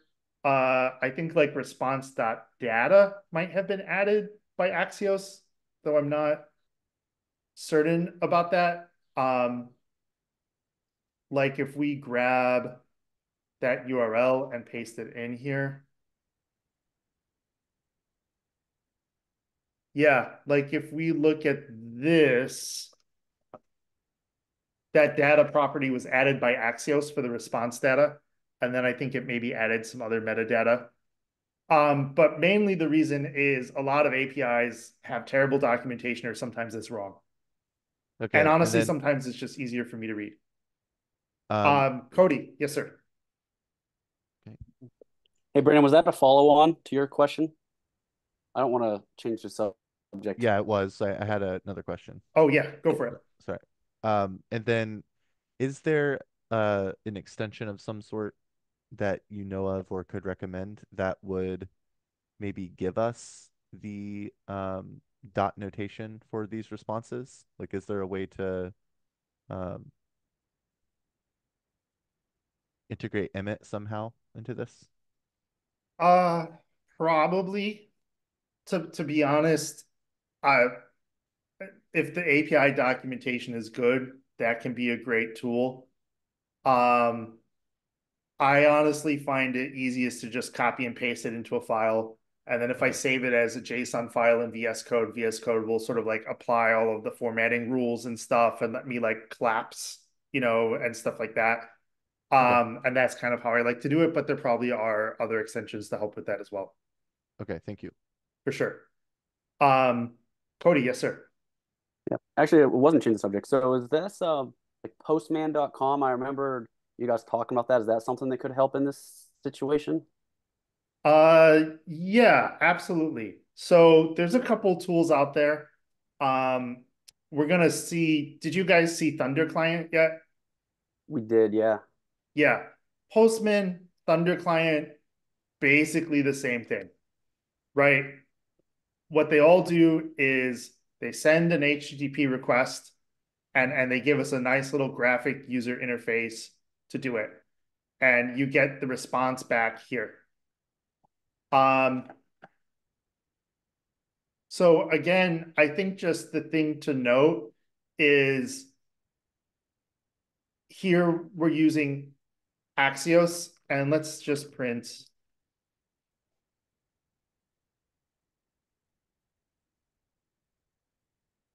So they're all called HTTP clients, right? Thunder client is an HTTP client. Postman is an HTTP client. There's something really nice, uh, I think called requests for VS Code as well. There's also something on the command line, uh, curl or wget that make HTTP requests. And that's the beauty of HTTP and the protocol is the server doesn't care about what's sending the request. It just sends it back in the desired response. Um, again, I just like to look at the actual data my program is getting because Axios does add, I think, a little bit of extra stuff, but all these tools are are really useful as as well. Um, let's see, we need to scroll all the way up here because there's a ton. The response object has a ton of stuff on it that we don't really need, but actually becomes quite useful that Axios adds. Like here's the HTTP response status, uh, the HTTP response text. And you actually see all this in Thunder Client. It's just shown visually. If I uh, go to, I'm getting a little off track here, so I'll come back on in a bit. It's it's somewhere, here are the response headers right? And and so Axios is just putting all this information on a JavaScript object for us, and it just has a ton of of information there. But it's response.data that has what we care about with with Axios. Uh, Brandon, yes, sir. And then and then I do want to uh, move on.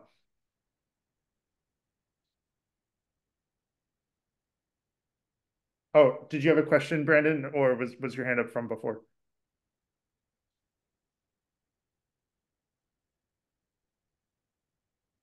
Perfect.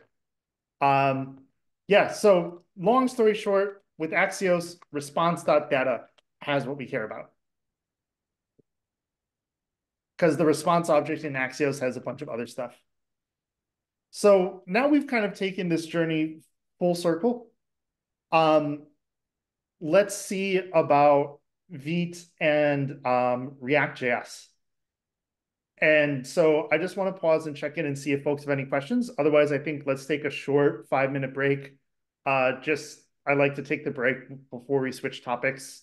I think that kind of lets our brains catch up a bit. And then we'll kind of see how these pieces start to combine for building a front end. Um, any questions on folks' minds or, or things maybe that we want to review with Axios or how to get data from Axios before we uh, before we break?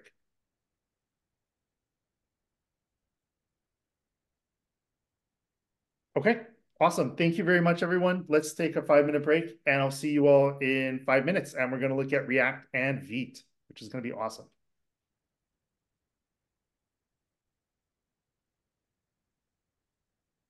All right, so we've been covering a lot of ground.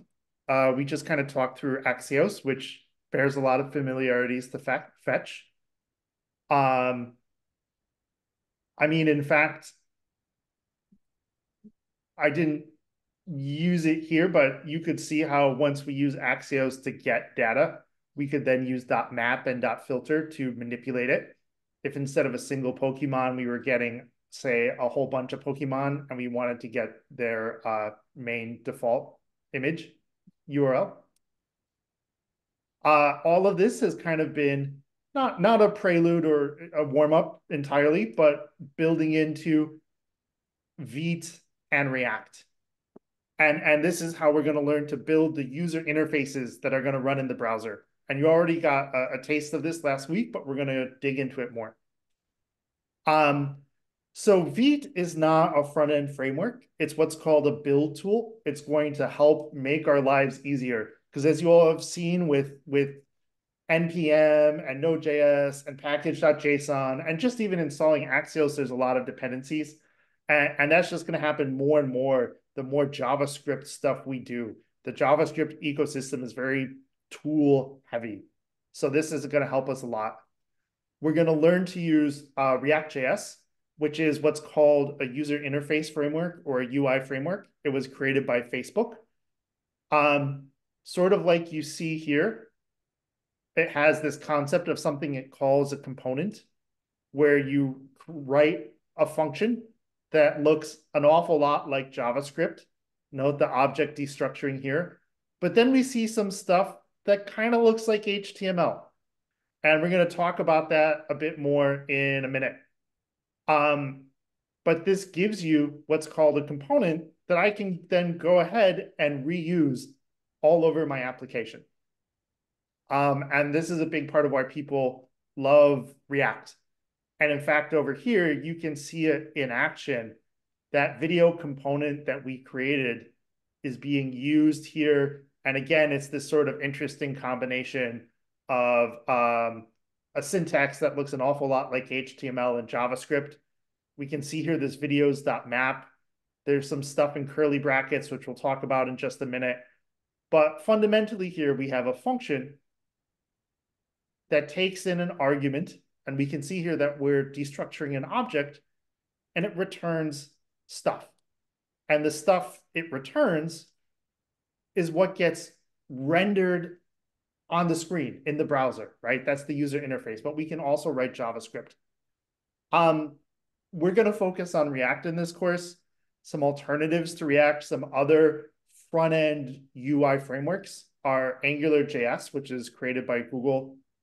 Um, same concept, some differences, and something called Vue.js that uh, apparently they have their sponsors all over their website, but they all kind of share the same DNA in, in, in a whole lot of ways. So that's just to kind of give a little context on what we're doing here. Um, let's go ahead and, and see what this looks like in action. And what I'm going to need to do is I'm going to create a new project um, because we're going to want a, a, new project for this as, as we build this out.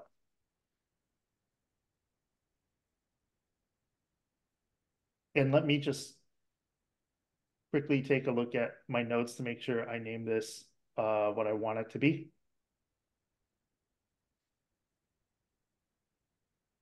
And let's, I'm going to name this project number guessing. Um, so there's two ways to create a project in Vite.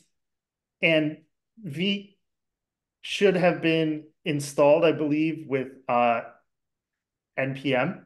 And actually, let me double check this because I've installed Vite so long ago. I'm not even sure I remember.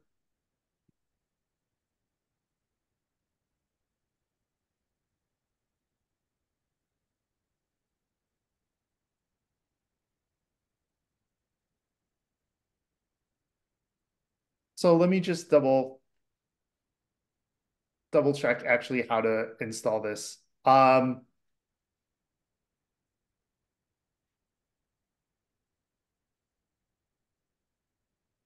here we go. This is way more than we need, but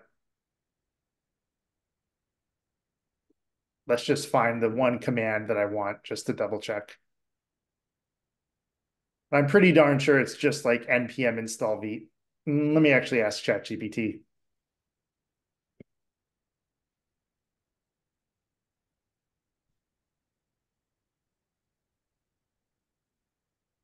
Oh, Francisco. Yes.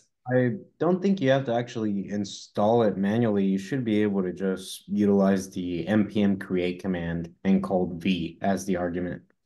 Oh man, thank you so much. I think you're right. That was throwing me a bit. So I saw that I was like, oh, this we must have to install this globally or something.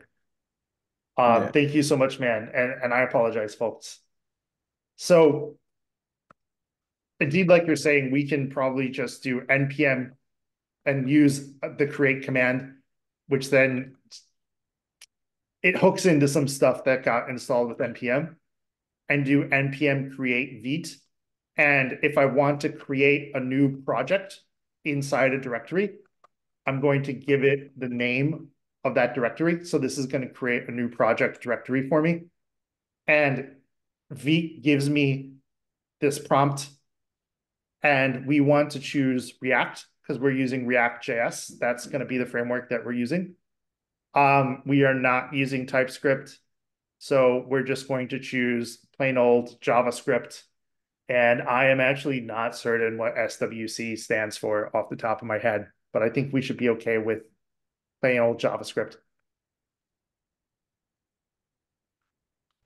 And so now it's created a directory for us and there are some commands that we can run.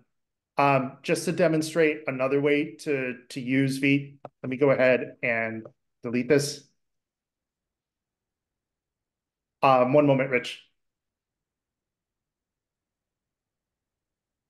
If I have a project directory already and I want to create a Vite project inside here, I can just run npm create Vite space and hit dot that will create a new Vite project inside this directory.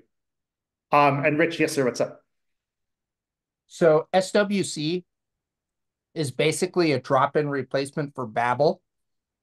It uses Rust instead, but Babel is still more widely used. Yeah. Got it. Thank you. Okay. That is good to know.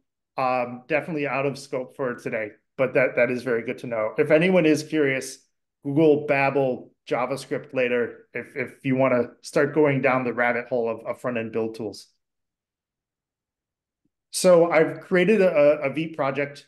It's telling me to run npm install. And indeed, if I look inside my number guessing project, I see that Vite has created a package JSON for me. And let me close these others out just so there's no confusion.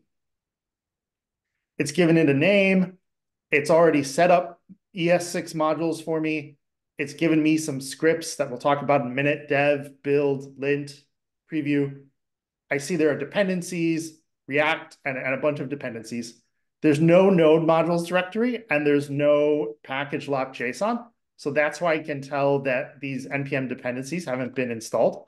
So let me go ahead and run NPM install.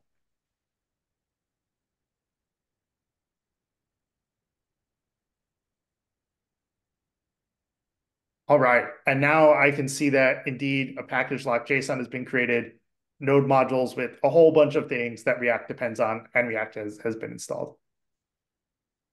And let me go ahead real quick and do a little browser setup here. Because we are going to want to be looking at both the browser and our server in just a moment, or our code rather.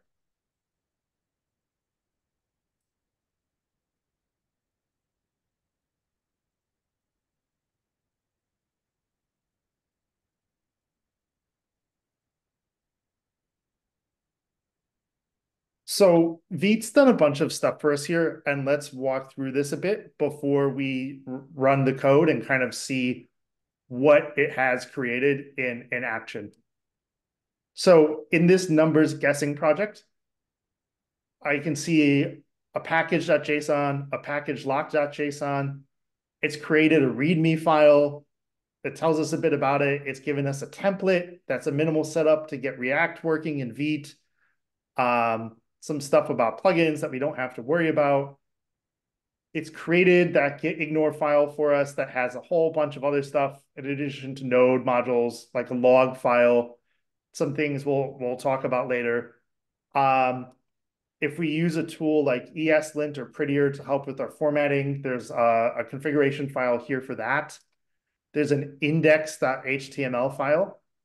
This is actually really interesting and important because actually when we're developing, this is the HTML file we're going to want our, our server to host that we're going to want to load in the browser. And if I look through here, I see the normal things I expect to see for an HTML file, a language, a char set. There's some sort of icon, the Vite icon. There's a meta tag that sets some viewport information so that our the, the width of the browser is configured correctly to the device, a title. And the interesting stuff is really right here. I see a div with an ID of root, and we'll talk in a bit about what that means. And I see some JavaScript loaded in a script tag, node type module, right? That we'll see how ES6 modules are being used. But note where this JavaScript is coming from, this source directory, main.jsx. Um, so let's take a look at main.jsx and let's see what's in there. And if I go here to main.jsx, I see a whole lot of interesting stuff. We've, we've learned about import statements and we see that in action here. We see we're importing the React node module, another node module named React DOM that lets us interact with the browser's DOM with React. So both of these we see here, and I can tell because of this relative path, uh, a file named app that's coming from our source code. It's got an interesting file extension .jsx, um, and I'll talk about that in just a moment. And then we're importing a CSS file that I also see here. So these are relative paths to where this main.jsx file lives. And then I see all sorts of kind of crazy looking stuff here. React DOM, create root, document, get element by ID. And that's kind of interesting because we just saw that index.html that had an element root. And then this method render. And then some stuff here that sort of looks like HTML, but, but is not. Um, and we'll talk through, I think, what that is in, in just a moment. Um, and I think I'll run the dev server so we can see it too. Just to kind of finish our tour, before we kind of dive into what this stuff means. If I look around in this source file, I see this app.jsx file, which is a React component named app. And we'll kind of talk in a minute about what's going on here. I see a lot of imports from an assets directory with image assets, some CSS, and importing something from React itself. And we see these curly brackets here because this React package has many different objects or functions that we could be possibly importing. right? So when I have to give a specific name, because there's many possible things to import, this is the syntax that you'll see, is these curly brackets. Inside this assets directory, I see some CSS and an image file.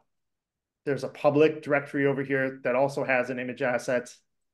And finally, uh, outside the source, the src directory, is uh, a file named vite.config that has some JavaScript that sets up configuration stuff for Vite and for React.js that we're not going to touch that much. But again, we can note uh, some imports. Note there's an export statement. We haven't talked a lot about imports and exports with, with ES6 modules, but we can see an example here of how if I want to have something ready to export from my JavaScript code, here's a way to do it. And this isn't worth going into too much, but this is a configuration object that helps Vite do what it does. The, the most important bits here are the scripts in package.json and the source file. So let me go ahead. And if we look at these scripts, I see build, I see lint, I see preview. Dev is the most important one.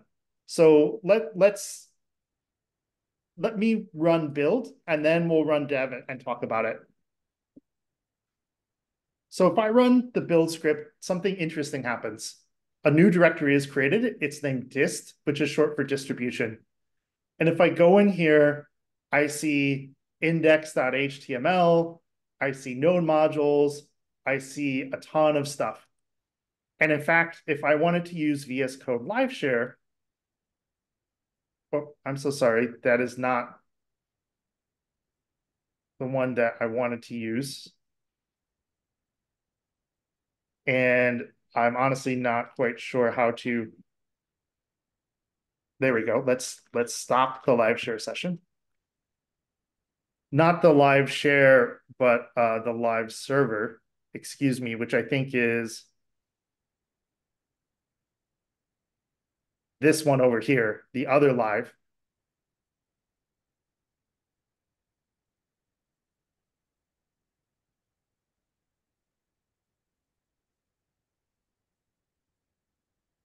Yeah, let's see. Refuse to apply styles. Okay, so we ran into some sort of issue. Um, it's not worth going into now, and we're not going to be using npm build much, but I just want to point out it's created an index.html file, and it's stuck all the JavaScript that we have and condensed it. And we'll learn about this much later. Um, but as you may have noted, this JavaScript does not look like normal JavaScript with these HTML looking stuff in it. It's called uh, JSX uh, syntax. And so some extra processing needs to happen to it. And there are two ways to do that. One is npm run build. The other one that we're going to be using 99% of the time is npm run dev. And what that is going to do is, and in fact, we don't need this dist directory at all for this. And I'm just going to go ahead and delete it. Is npm run dev runs what's called a development server. So it's running a little web server on port 5173. And guess what it's running for us? is all this stuff over here. I'm going to make this font size just a tiny bit less so we can see it better.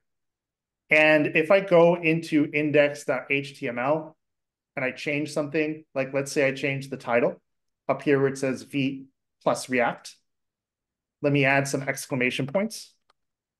And when I save index.html, the server reloads. So the dev server does what's called hot module reloading, where it's watching all of these files and when I change one, it reloads and I get to see my change right away. Oh, and I'm so sorry about that, folks. Um, give me just one sec to bring everything back to the way it's supposed to be.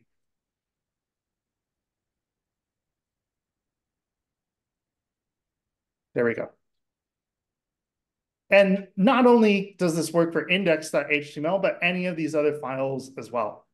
Now here, in main.jsx, there's actually nothing I see that if I change it would be changed here. But if I go to app.jsx, I do see a lot of stuff. I see v.react, right? So maybe I want to change that. And I immediately see that show up. And we have these CSS files, app.css, all of these different paddings, all of these different classes. And if I change the CSS, it would show up here as, as well.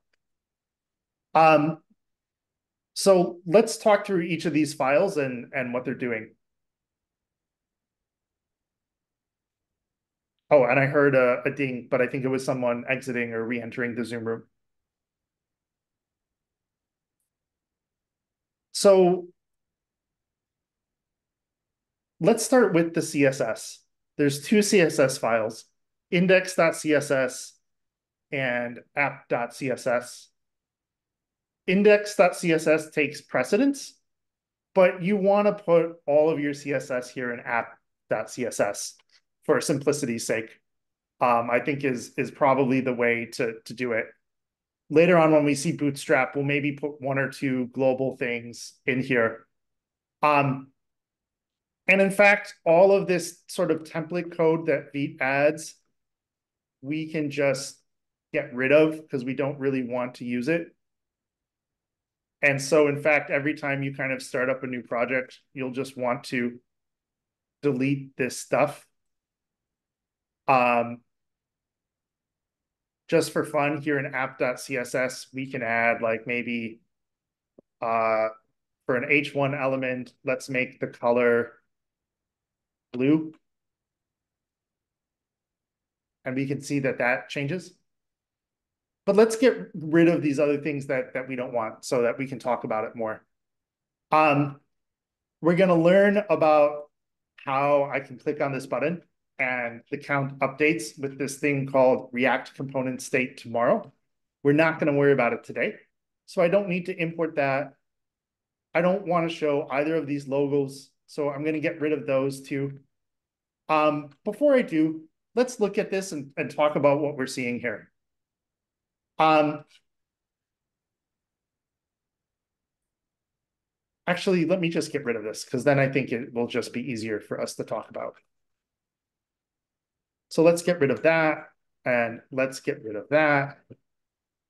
And let's get rid of that and let's get rid of that. And now we can get rid of these right? And this is basically what you want to do every time you start a new project from scratch is just delete the Vite template and you can delete all this other stuff as well.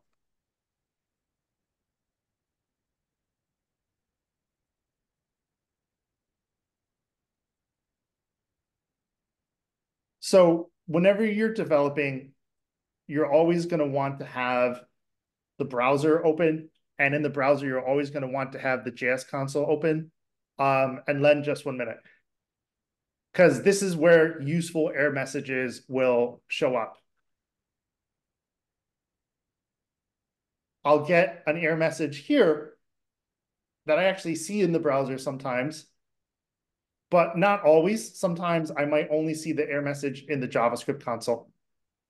And note here, this hello world message, and over here it tells me where in my code it's coming from from app.jsx, line four. So what we're seeing here is a React component. A React component is a function. You can pass it arguments. This one we're not passing any arguments to, and we'll learn more about that tomorrow. There's two parts to the function.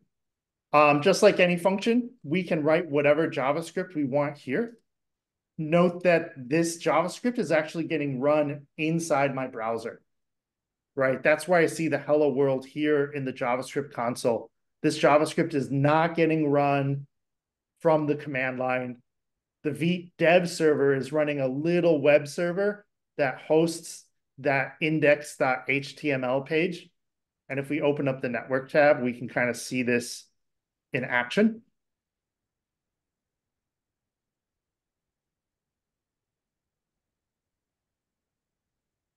Let me clear this and run it again.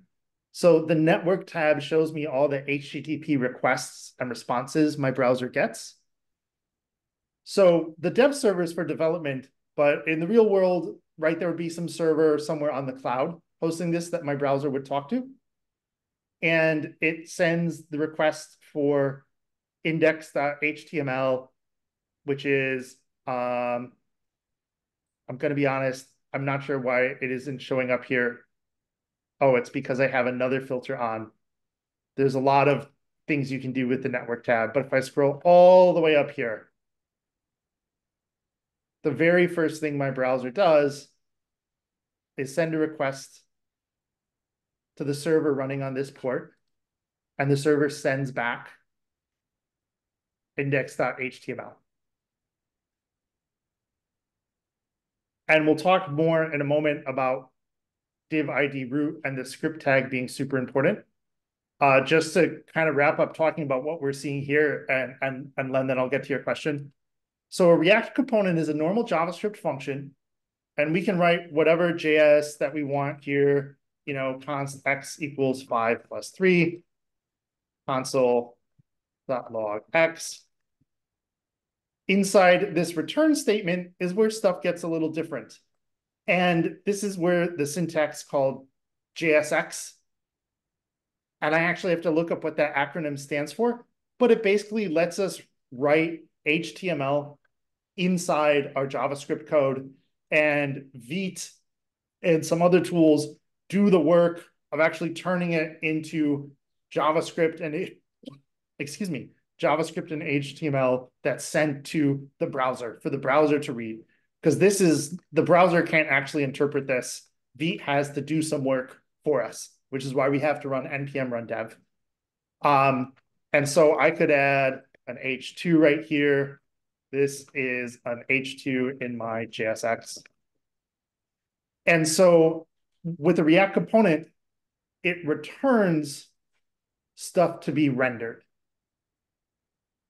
And if I want to stick some JavaScript inside there, I do it in a curly bracket. And I can even do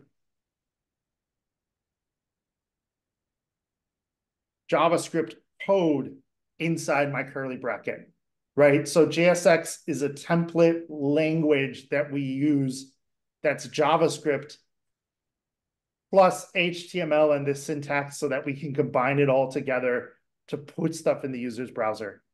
Uh, Len, yes, sir. Um, it's something that's at the very beginning, and, and I'm just kind of glad you ignored my question because you talk about it, uh, deleting all the V like kind of code in the beginning. Is there Yeah. a way to like if you if Vite is your jam and React's your jam to set up a like your like delete it net normally and just resave it over, or is it something that is too complicated to even try and discover on my own? Uh, there's probably a setting somewhere. I, I apologize. I don't know it off the top of my head. It's not you. worth saving on your own. That Fair that- enough. that- No, no, yeah. good enough. Done. Totally. Thank you. Yeah, for sure. It's it's not as bad as it sounds. Just to reiterate, you know, folks, what you want to do, because most of the time we'll actually have a project for you to to pull down and clone. But if you're creating a React project from scratch in Vite, just basically delete everything inside app JSX, but leave the, an empty component. Delete everything in index HTML. Delete everything in app CSS, and then you're good to go. Um, on that note, there are some things you should not touch. Don't touch main.jsx. Do not touch vite.config.js. Um, and those are the main ones. Um, let me pause and check in and see if folks have questions because I, I do want to talk a bit more about kind of how these different files interact. But I know I just did a lot of talking and and threw a lot of stuff out there with React and components and stuff. So I just want to check in and, and see what's on people's minds. Momo, yes, sir. Uh, what the difference there between the index CSS and app CSS? Maybe you mentioned it, but maybe I didn't catch it. Yeah, great question. Um, use app CSS instead of index CSS. Index CSS actually will override app CSS, but we only want to put like a few global things inside index CSS.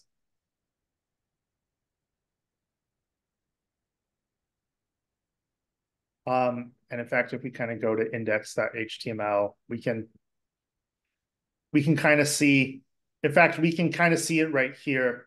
Well, I'll talk through it when I talk through main and, and app.jsx, actually, because we'll we'll see it then. Yeah, good question.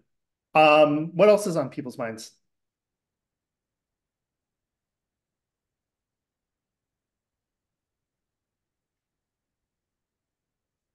Uh, Momo, yes, sir. What did you mean, sir, by when you want to add something global, you will add it to the. I I get the idea, but uh, I will use now the app CS uh, the app CSS, and he said if you want to add something global, you Oh. will add it to the the the other one. Yeah, totally. I will cover that uh in just a minute when I walk through the whole project. And in fact, as as I'm not seeing any other questions, let's go ahead and do that now. Let's take a couple minutes, talk about how these different files interact, and then we can write a little code to sort of get warmed up for our assignments. Um, so again, the thing here to remember is this JavaScript code is not running from your command line. It's running inside the browser. And right now, my laptop has both my client and server. But eventually, when say we put our project on the cloud, you know, all of my JavaScript React.js code will live on some server in the cloud.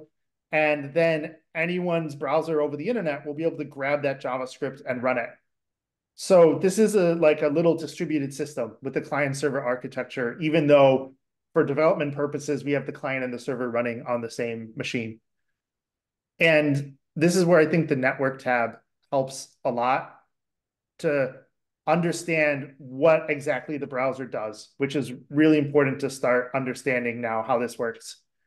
So we have this little Vite dev server running, right? If I killed it and I tried to load the page, I'd get an error because my server isn't running. And so when the browser sends this request to my my own machine on port 5173, uh, nothing is is listening for it or sending anything back. When it is running, there's all this stuff that happens that uh, is a bit of sort of dev server magic. But the most important part is this first part, where the HTML file is sent to the browser. Right? And we see all this stuff. And so what happens, and in fact, Vite has added some extra stuff. But remember, what a browser does is it goes line by line through the HTML file and executes every line. So when it gets, say, here to line 20, it grabs this JavaScript and executes it. Uh, Brandon, yes, sir. Um, so is the is this stack doing everything for the most part that we've learned up to this point? No, because we where we're going to end up is just like you all did some stuff with Flask and Postgres. Um, this JavaScript stuff is only running in the browser, right? And let me bust open a little tldraw here. Yeah, this is a good question. Um, server, let's just say Flask. Later it'll be Django, but since that's kind of what you all saw last week. Client, um, and the client, let's make the client a little bigger. And so the client is a browser. Right? And inside the browser, our JavaScript code is, is running, and we're using the React.js framework.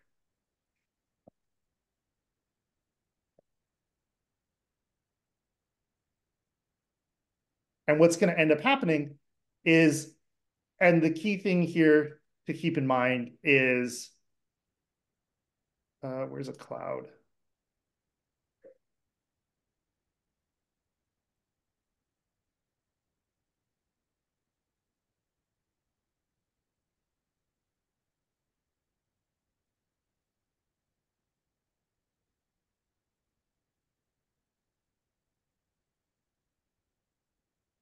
And the key thing to keep in mind here is these things are going to be communicating over the internet, right? For us, they're both running on the same machine. But so we're not there yet. But to use the example from earlier, that list of tasks, like that information is going to live on the server in a database. And Flask is going to send that information to React.js to the client, to the browser, where then I can look at my tasks. Or if I want to modify a task, let's say check it complete, well, that data has to get sent back to the server in the cloud. Because otherwise, you know, when I close my browser, then that's gone forever. And what if I want to log into it from my phone or another computer? Um, does that help answer your question? Yes, thanks. Totally. Yeah, great question. Uh, Cody, yes, sir. Hey, thanks. Real quick, what was the command that you that you put in to run Vite? I missed it twice, I think. npm run dev to run the server. npm. Perfect. Thank you.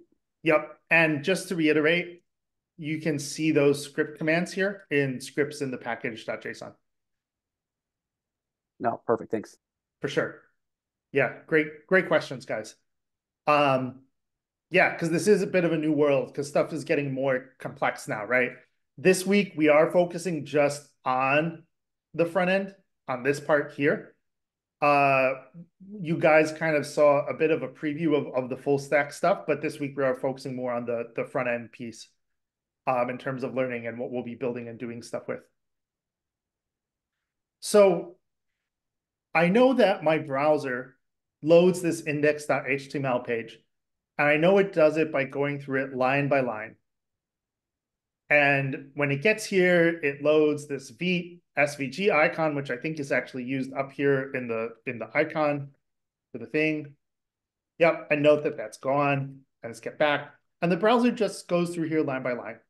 And then when it gets to the body, it creates a div. And in fact, if I use the browser and, and the elements tab, we can go here and we can look at this div. It's got the ID of root and something really interesting happens if I look what's inside here. Where did all this stuff come from? It came from app.jsx, this H1, this H2. Like, let's go ahead and get rid of this. Right? So what's happening is this JavaScript code is running in my browser, but it's creating these HTML elements that are all being created inside this div with the ID root. And when you see root, think root of a tree, right? Of, of a tree data structure. And the DOM is a, is a tree. So how does this happen? Well, it happens in two parts one part is we obviously have to create the div in index.html. And then in this JavaScript code, in the main.jsx, it's called mounting the application, where we have to tell React when this code runs, hey, find this div. Everything you create is going to go inside there. And if we look again at main.jsx, we see React DOM, the library for React interacting with the DOM, create root, create the root of our tree, of our component tree, or our elements tree, document get element by ID, root, render.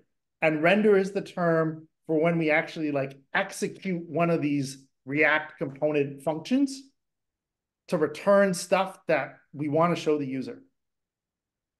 And strict mode is stuff that's there to help with development. It can also cause some headaches, so we don't actually need it. And what am I rendering? well, this looks like an HTML element, right? But it's got a different name, it's custom. I'm importing it from app.jsx. I'm rendering this React component. So if I went ahead and changed this to something, a different name,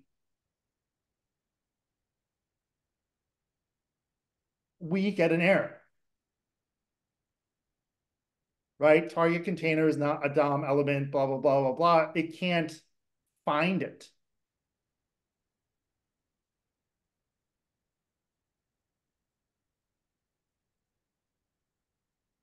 So the job of main.jsx is to mount the whole React application. That's its really only job. Um, and we do import index.css here. And Momo, you had a really good question about what, what goes in index.css CSS for somewhere else. As we get into like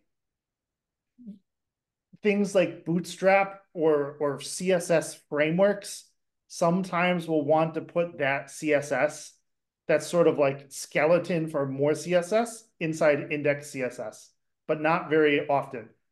Um, because the same way that really the main job of main.jsx is to set everything up to actually run our program, it's the same with index.css.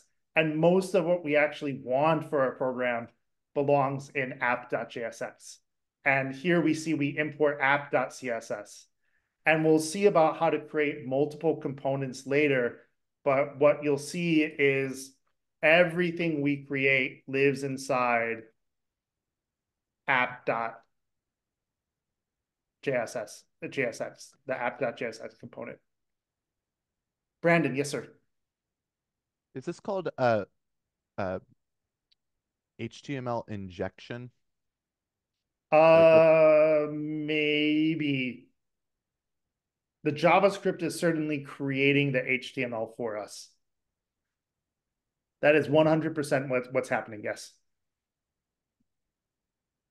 Um, Momo, yes, sir. Uh, I, I just wanna to.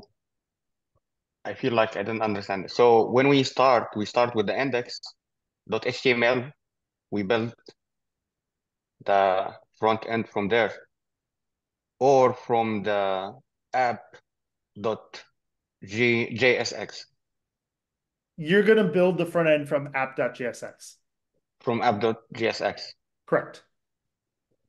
The H the the so the the JavaScript and the HTML from app.jsx. Correct. You got it. Okay. Uh, so what or when we will use the index.html? Never. Never. Never. Correct. Okay, and and and you said the main.jsx that will be like where everything uh, will be controlled from there, or because I didn't understand this point. Yeah, absolutely. Um, let me walk through that again. And I see one other question. And then I think I, I do want to switch gears because I want to make sure to write a little code in here before we hit noon to kind of set everyone up for for this afternoon. Um, and Eric, what's your question as well? Uh, I was just going to ask, um, like how multiple pages is handled. Is that all rendered via main JSX and you're just importing different components still? Um, we will we will get to that in the next couple days. It is all handled within app.jsx and we import all the components into there. Okay, thanks. Totally. Yeah. And so just to reiterate, and, and this is good to walk through because this does get more complex. The browser loads index.html. We need this file, but Vite has set it up for us. So we're never going to have to modify it, almost never. And there's a div here that's created with an ID. And we load the JavaScript in main.jsx. Vite has already created main.jsx for us. And we do need this, but we almost never need to modify it because it's already been set up. And what main.jsx does is, and um, we can add main JSX mounting app. If I go ahead and I clear this, I refresh my code, right? Main.jsx is getting run in the browser. And what it does is through a little bit of magic, it finds that DOM element with the ID root that we care about. And it connects our React app to it. And it tells React, hey, all of the components you create when you are like creating HTML elements, because our JavaScript code is now creating these HTML elements, do it as children of this element right here. And then, and that's all that main.jsx should do. And so we don't need to, to modify it. And then all of the code for our React app that we want to run, we can actually put inside here in app.jsx. And it gets created here inside the root element. Um, Brandon, yes, sir. And then I do want to move on a bit. Uh, what's up? Just uh, one like a quick one sentence. Index.html is a template, and through Vite, uh, you you return your modules and then push them into index.html or based on whatever you're trying to do. Uh, kind of, sort of. I mean, Okay, we could just move on then. index.html. Yeah, We could just move on. There, it's all good. yeah, we'll, we'll move on. The way to think about it is index.html, it's a normal HTML page, but the only thing it does is load this JavaScript that then does all this fancy stuff. Like that's its only job. So this is what's called like a single page app where we have a ton of JavaScript running in the browser that actually does all the work. Um, a template is a bit of of of something else. Um, yeah, index.html and main.jsx sort of bootstrap the rest of the, the application. And I'd be happy to go through and discuss that a bit more later as, as well. Um, I think I, I do want to write a little code here so we can kind of see it in action and to kind of set you guys up for this afternoon. So I apologize, we might run a couple minutes over noon, but it shouldn't be that much longer. So one thing I want to point out quickly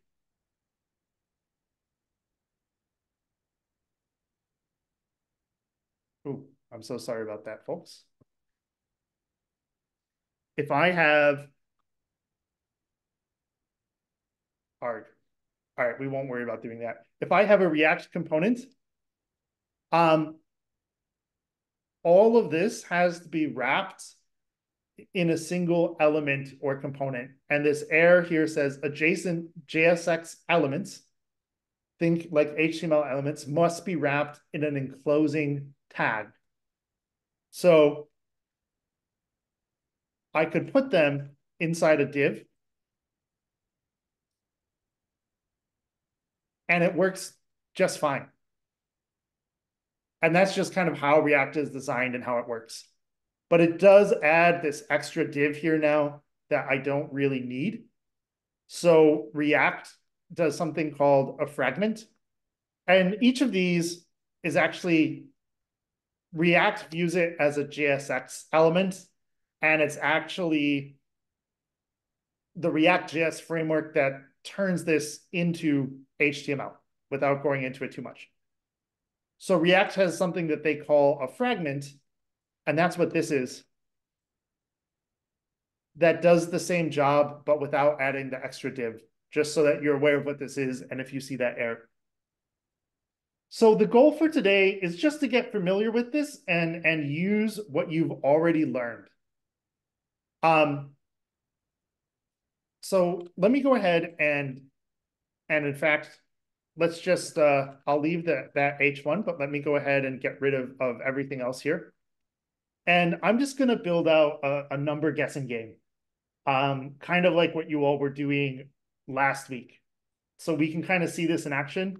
And this is really the goal for today. We're not going to get super deep into React. There's, I think, enough that we've thrown at you with the frameworks and all of the tooling. So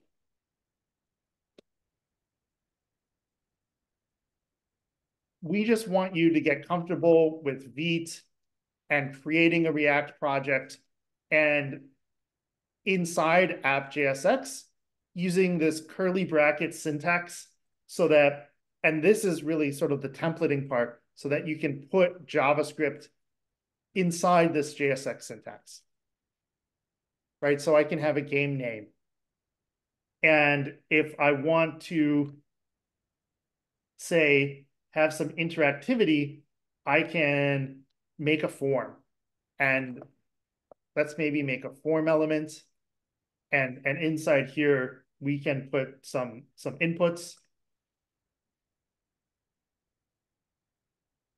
And we're just going to make sort of a random number guessing game. Um, and I'm going to kind of talk through it. And, and please feel free to, to ask questions as, as we go, because I think this is this is good to see. So again, we're not hooking into React entirely yet. We're using the tools we're already familiar with, but um, doing it in a new context, right? And we probably want a button.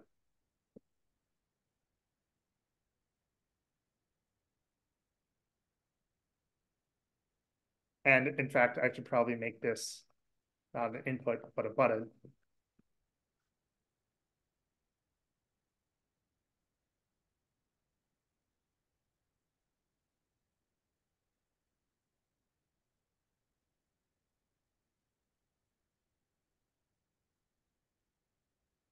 And the one thing I will mention that is good to know um, is if I did want to add some CSS, let's say I wanted to make a class and let's just call it like submit button. And maybe I wanted the background color to be, I don't know, red. I do, the syntax is a little different it looks a lot like HTML, but we have to use class name instead of class.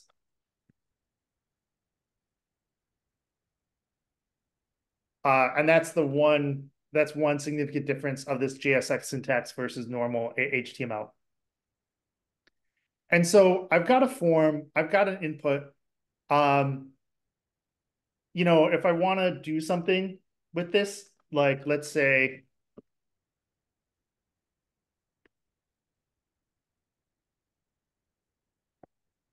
the user is going to click on it and I want something to happen with that guess. Can someone maybe remind me, like, how do I hook up this function so that when the button is clicked, I, I see this message printed to the, the console in my browser?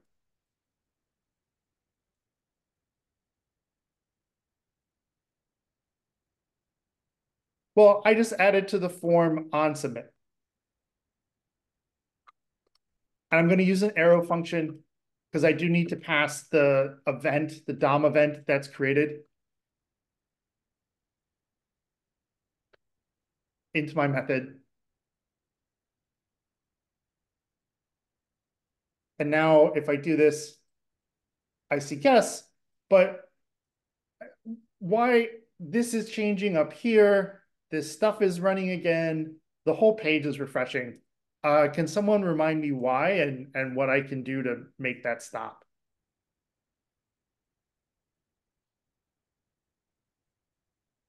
Mikhail, yes, sir. Do you have to do the e dot prevent defaults? Yeah, exactly. Exactly.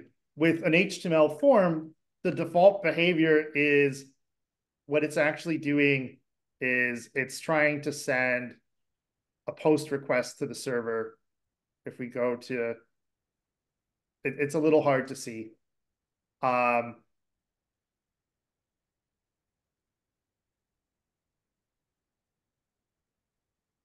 but somewhere somewhere yeah it's a little hard to see but the default behavior is the browser tries to send a post request to the server uh, and then it refreshes the page but that's not actually what we want it to do so we want to prevent that default behavior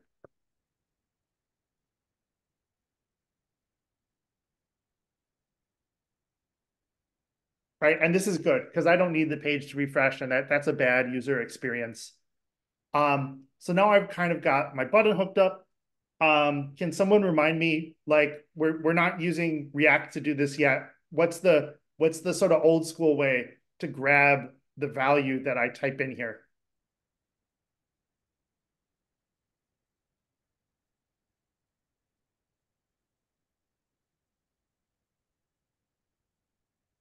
Uh, Eric, yes, sir. Uh, you would grab the input dot value from that input field. Uh, yes. We totally could. How do I grab the input field? Uh, normally you'd use document dot. You could use query selector and ID, um, and grab the field by, yeah, the name there, uh, and then do dot value. Yeah, totally. Um, and I think I'll just grab the input here and then we can grab the value um, on the next line. But for today, for the assignment that we're going to give you all, uh, we, we do want you to do it the old way just to kind of get used to React. Uh, so, so you should still do it this way. And then um, I'm also going to go ahead and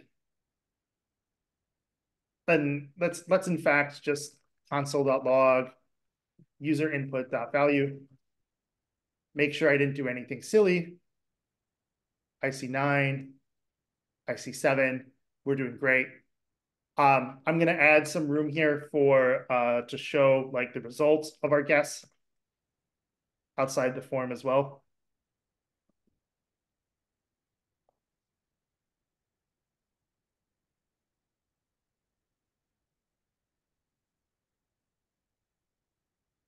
And the, the guessing game is going to be pretty, pretty simple. We're going to create a random number. And if the guess is too high, then we, we say too high. If it's too low, we say too low. So right here, let's make our random number.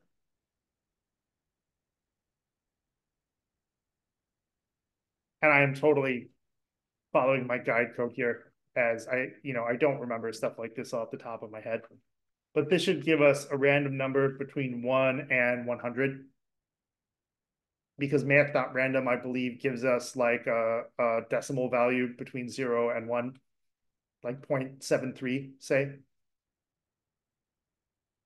And let's just say like hey if the user input value is greater than the random number we're going to say too high. And let's actually grab that bit of the DOM that we want to manipulate.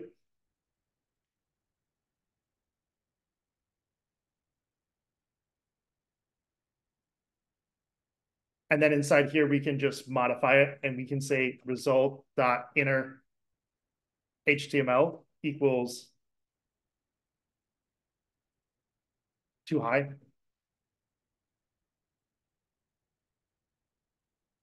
And here, let's do an else if. If it's too low. And if it's not too high and it's not too low, the guess must be correct.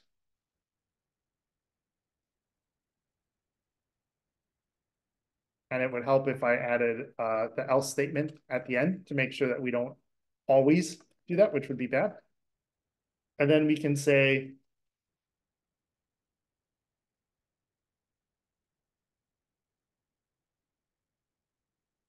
You won.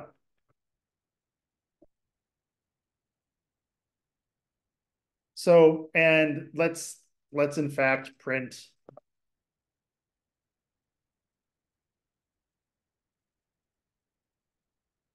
the random number so we can test our game and make sure everything's working.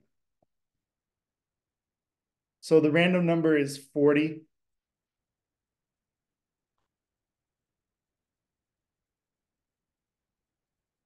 Five is too low.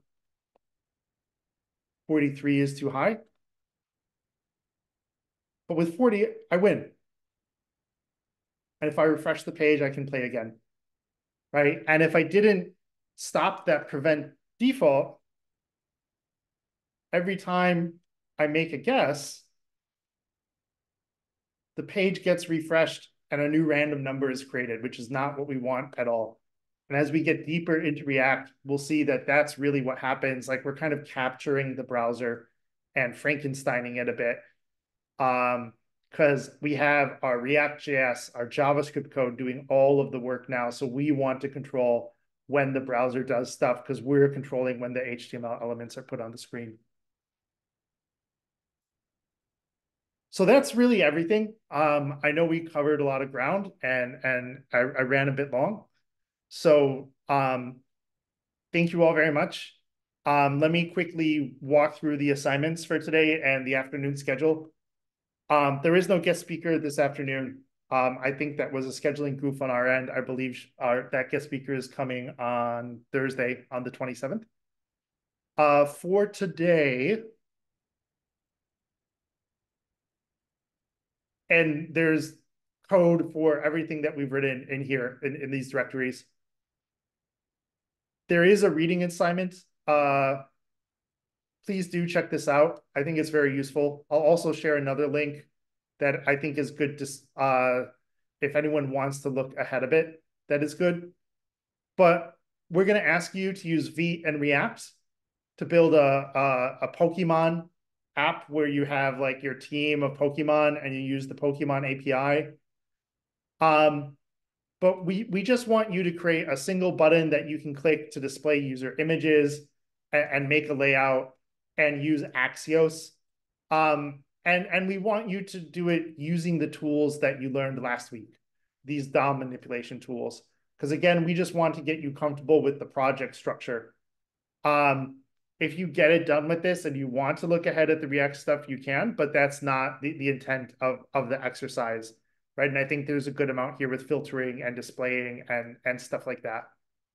Um, so please do build this out with, with the DOM, with using JavaScript to interact with the DOM, just like we saw here, where we're doing that inside a React component. So all of your work should be inside app.jsx and any CSS you want to add should be inside app.css. And then the other assignment is very similar, and it's going to be a to-do list. Um, and again, we we don't we're going to go deeper into React tomorrow. We want you using those DOM manipulation uh, tools today. Uh, and, and just like we did here with this number guessing game, all of your work should be inside app.jsx. Uh, let me go ahead and stop the recording and, and we can break and, and I can stick around a bit for any questions that, that folks have. So uh, thank you very much, everyone.